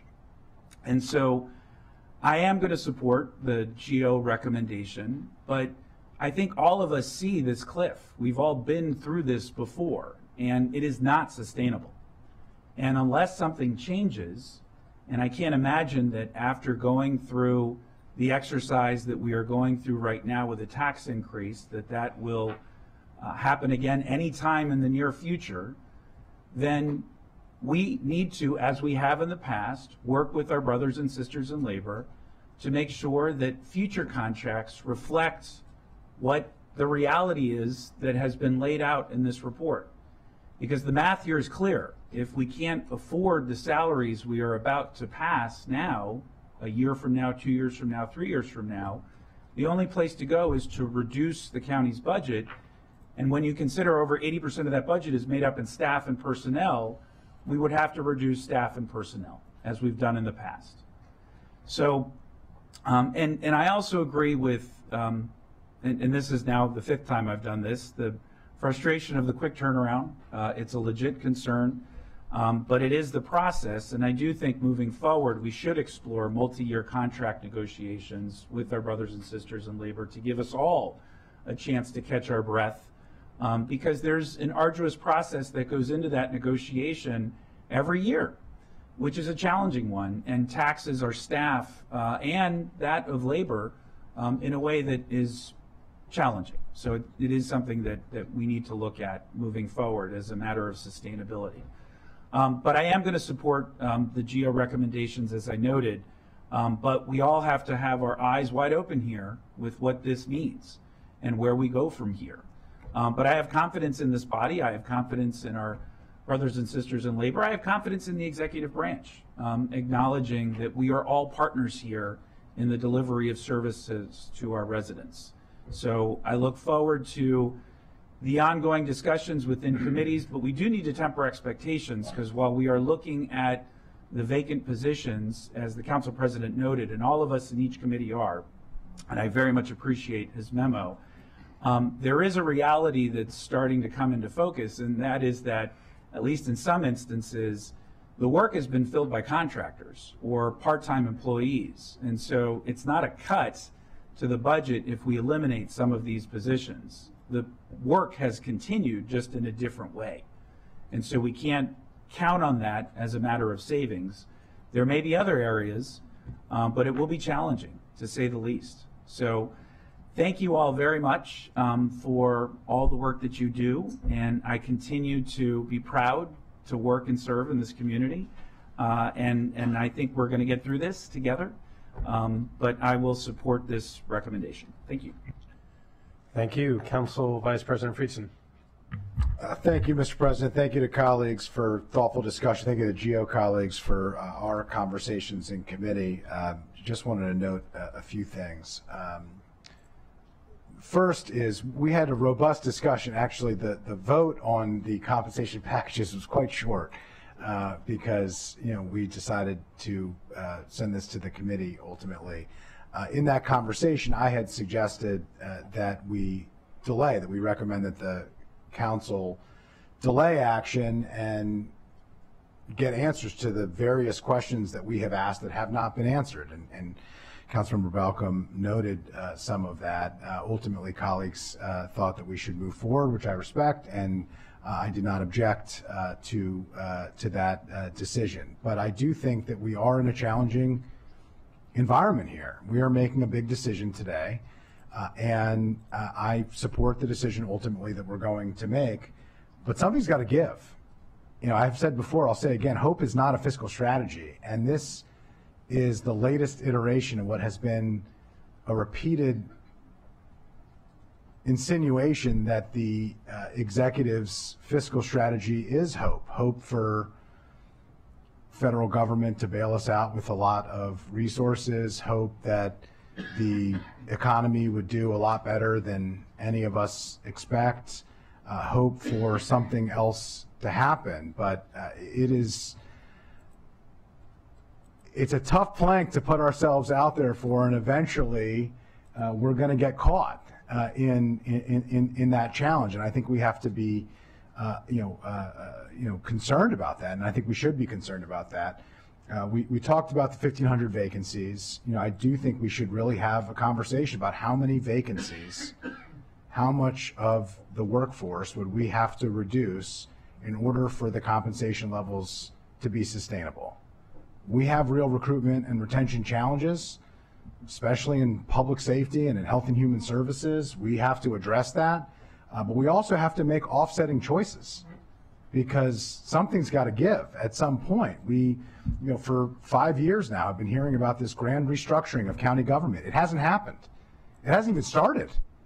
There was a, a matrix report. We heard about it starting in 2020, I believe August of 2020 uh, that was launched. We got a report uh, then, uh, uh several months delayed, April 15th, 2021. We paid $92,000 for that report. Not a single recommendation in that report has been implemented. Not one. Not one. Several of them were very modest. That we have 1,500 vacancies, as noted. The request of that report was only to find 100 vacancies. I'll note spending $92,000 to find 100 vacancies for money that we're not spending, we would lose money, but ultimately it would help us embark on this restructuring. Uh, it identified nine supervisory positions. None of those nine have been identified to be eliminated, have been eliminated. None, zero.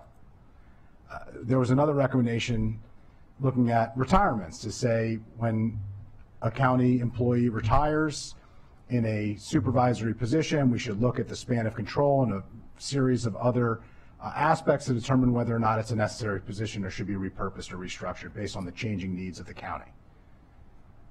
There was a recommendation over the course of the next 18 months from that report, April of 2021, to look at 5 to 10 percent of the retirements. Not a single one of the retirements that have taken place at an unprecedented moment, by the way, of retirements and of the workforce leaving, unfortunately, which we're concerned about, but not a single change or, or move to, to repurpose or restructure or rethink uh, through those uh, efforts. Uh, it, it is a, a, real challenge, and it's not the fault of any of the hardworking employees of, OMB or finance or human resources. It, it requires the county executive and the chief administrative officer to send a mandate to the departments to make the changes and to implement a strategy for restructuring. The labor partners have stepped up and they said they are willing to do it. They participated uh, in this work group. They have begged and uh, pleaded to say we want to be part of a restructuring too. We understand the challenges here, uh, and yet we have nothing uh, to to show for that. Uh, we only have 552 positions currently, as of the GO committee's work session uh, on this when we dug into it, that are being actively recruited. So that means we have over 900 positions that are unfunded and sitting there, that are funded and not being actively recruited, uh, that we are allocating money for that we will never see a service. We will never see a benefit. And we are heading down a path that is going to exacerbate these issues. And we just, we have to get to a point where we address these issues. We have a response to the compensation policy that is just not, it's not a consistent response. It both takes the 10% property tax increase out when looking at the growth and then puts it back in when looking about at the sustainability. That is not a serious, honest response to a policy. It's one thing to say, here is what we're doing, and here's why we're doing it, and here's how we're going to pay for it. We are committing to our public employees who we understand are so important to providing services that are needed now more than ever. But we got to explain to people how we're going to pay for it. We got to explain to people how we're going to make the necessary changes in order to implement it. And we have not done that. That is not happening. That has not happened up to this point. And, and as far as I can tell, we have no idea from the county executive, from the chief administrative officer, of any plans to do that moving forward. Even with a consultant's report that's been sitting on a shelf collecting dust after we spent tens of thousands of dollars to make it happen without a single recommendation being implemented. We're going to start next year with, I think, more than $145 million structural deficit because we have pension changes that we have to address. Even in the pension challenges, when we ask questions about that, the response is that the actuarial determined contributions are going to be readjusted year over year. Well, we have to be honest that if we are providing a benefit to employees for recruitment and retention that were hard fought in bargaining, and I respect that, that that's a cost. And we're to have to pay for that. It's either going to bring, rather accepting the 12% reduction in the funded ratio of the pension system, and that is a policy decision that we are making, or we're going to pay 10 million more dollars a year by projection in order to fund it. Neither of those are illegitimate decisions, but we have to be truthful about what the decisions uh, are uh, that we are, are making. The $145 million deficit, which you know would be either a major cut or a significant tax increase, a tough choice no matter what. That is assuming that we don't give a single pay raise next year, which I don't think any of us want to do. I don't think any of us are expecting to do. I don't think any of us uh, are, are planning to do. Uh, you know, we, we need to be more serious about the decisions that, that we are making, and we need to have more of a partnership from the county executive to do it.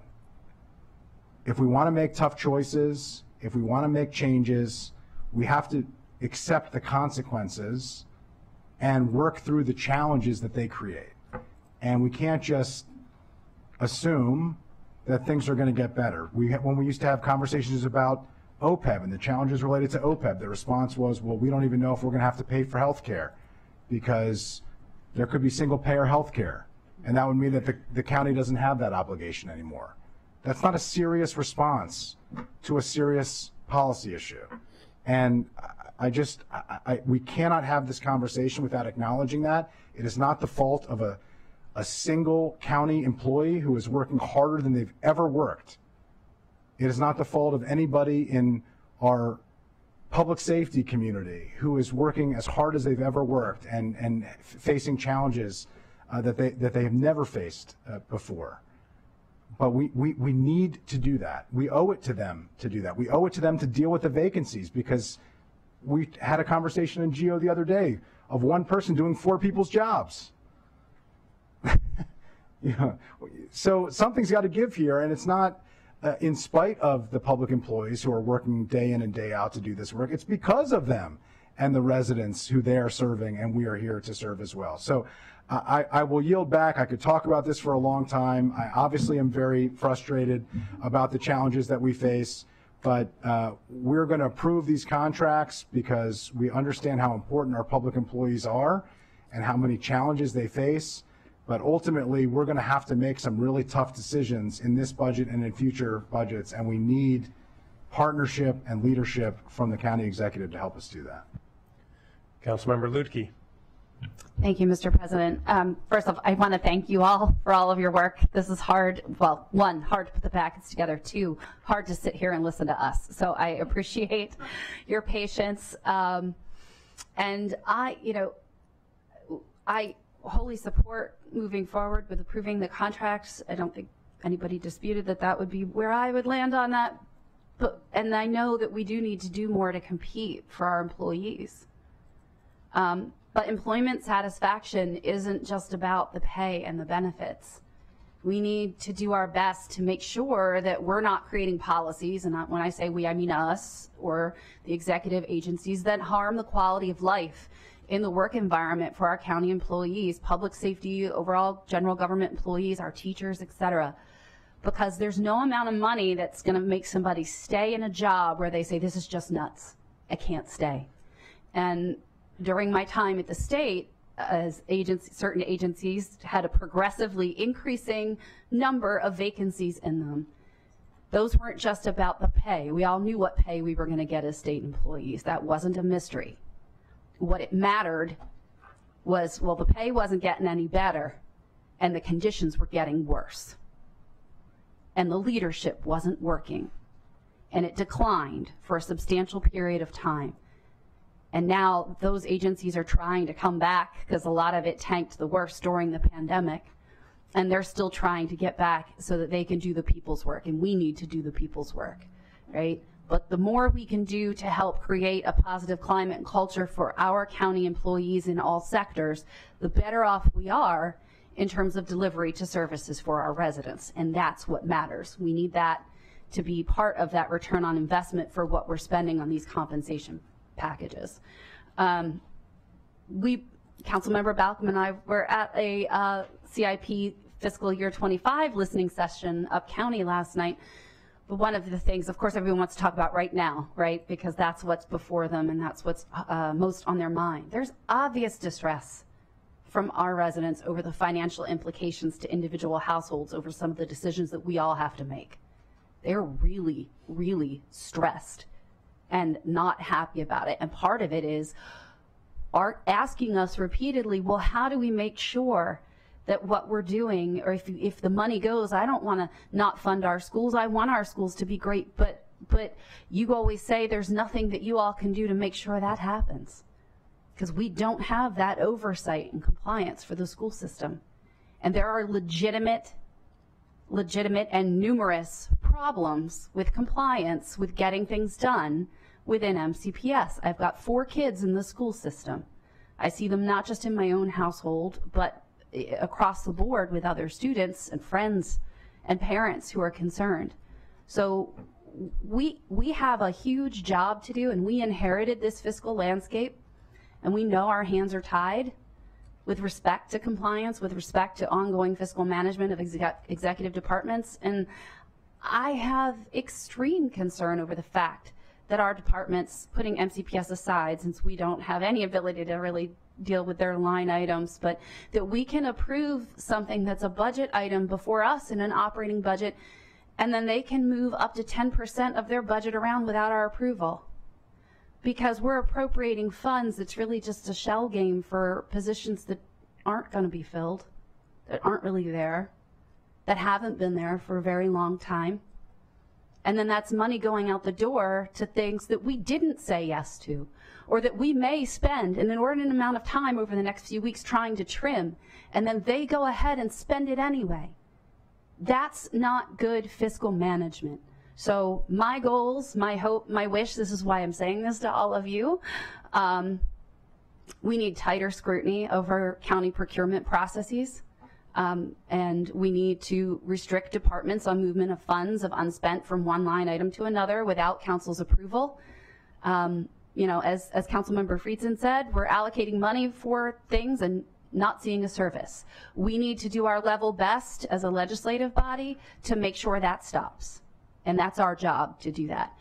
Um, and I think, frankly, based on the number um, amount of contracts that we end up having where they, they do these contracts for services that are not being provided by employees, and then we end up spending way more for contractual services than we could otherwise um, if we were funding positions um, or doing what we needed to do to recruit, because the, the contractual service is the easy way out, but costs us a lot more finding a way to limit the amount of dollars that can be allocated to a department to be used on contractual services.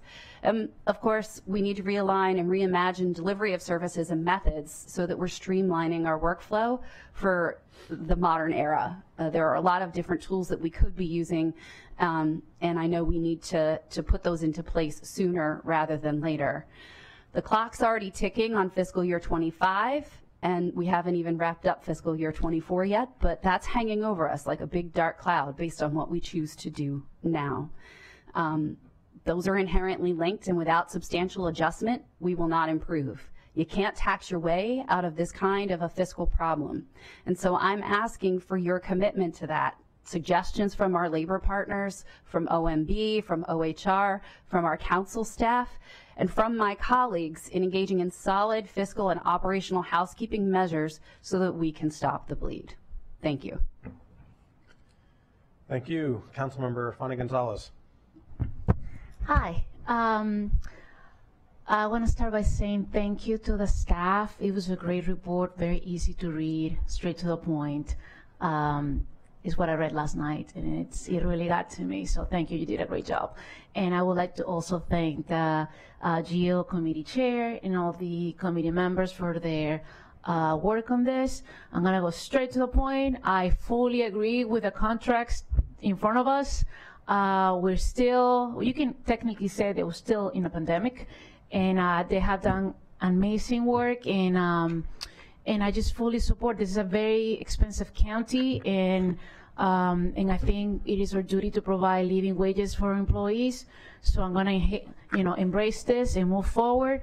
I do look forward, perhaps, in a GO committee session, uh, the points that Council Vice President Friedson was um, saying about re, uh, re, re, re, restructure um, the government uh, is right on point. Uh, and I look, especially if there is already a report that I haven't read, but I will read it.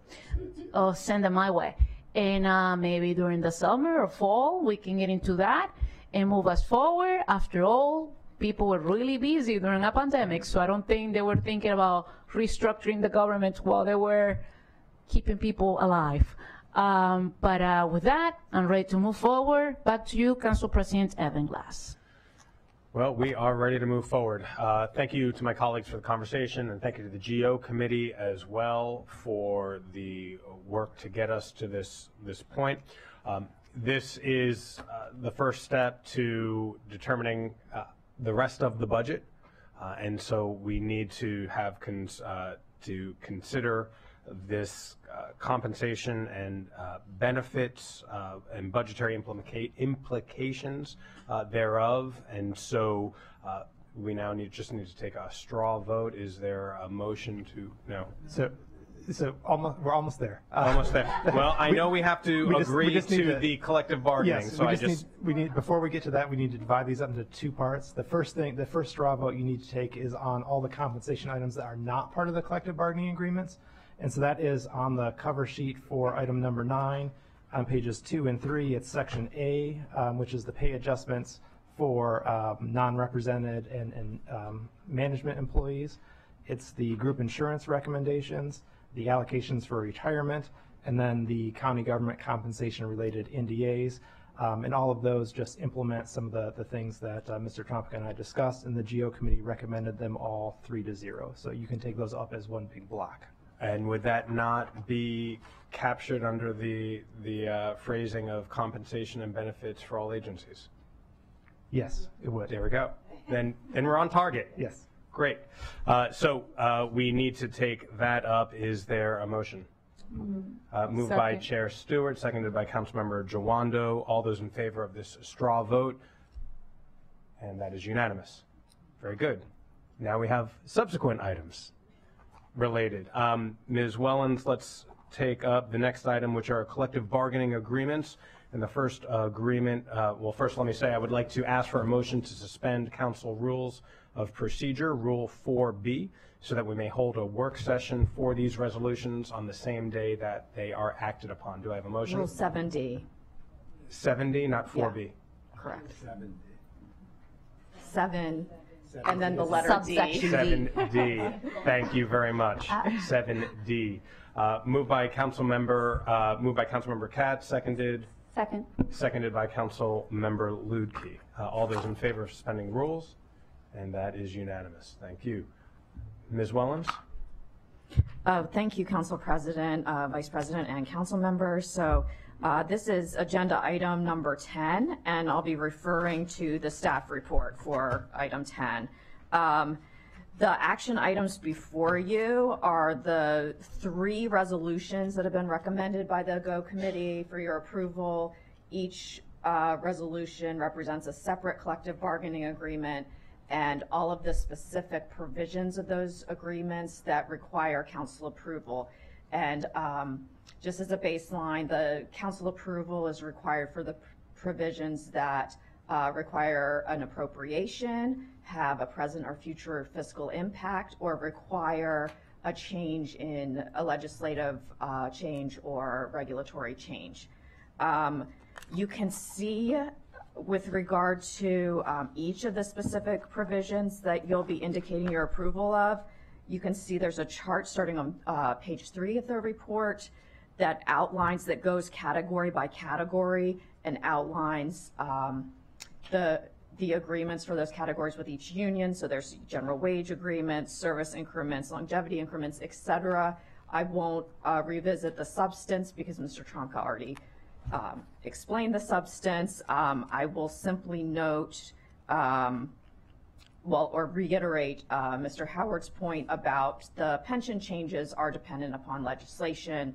That legislation, this, approving these resolutions does not preordain that you would have to approve um, the legislation as it was proposed. Those, uh, the public hearing you had earlier today, and those will be going uh, to committee for your further consideration. What these resolutions would do would indicate your intent, assuming the, that the legislation passes, indicating your intent, intent to fund those um, pension enhancements for the coming fiscal year. And the actual resolutions um, are at circles 1, 62, and 76 for your consideration. Thank you. Thank you. And the first resolution we will take up is the resolution to approve the provisions of the collective bargaining agreement with the Montgomery County Career Firefighters Association of the International Association of Firefighters. Uh, Moved by, Second. Coun- uh, by, by Councilmember Katz, seconded by Vice President Friedson. All those in favor? That is unanimous. Uh, Second item is a resolution to approve provisions of a collective bargaining agreement with the Fraternal Order of Police, FY24, moved by Council Member Katz, seconded by Council Member Sayles. All those in favor? That is unanimous. And the third is a resolution to approve provisions of a collective bargaining agreement with the Municipal and County Government Employees Organization for FY24, moved by Council Member Stewart, Second. seconded by Council Member Luedtke. All those in favor? And that is unanimous. Okay, very good. Thank you very much, uh, Ms. Wellons, Mr. Howard, and Mr. Trombka. Ms. Bryant, thank you, and to your staff for being present during this conversation. We look forward to uh, receiving a response to the memo that was sent, uh, and we hope to receive one uh, from the executive uh, by this Friday, April 28th. Thank you. Colleagues, we will now move to the consent calendar. May I have a motion to approve the consent calendar? So moved. Moved by Councilmember Second. Seconded by Council Vice President Friedson. All those in favor, raise your hand. And that is unanimous. And with that, we are adjourned for the evening, but we'll come back at 7 o'clock for a public hearing on legislation, uh, uh, Bill 1223. We'll see you all back at 7 o'clock. Thank you very much.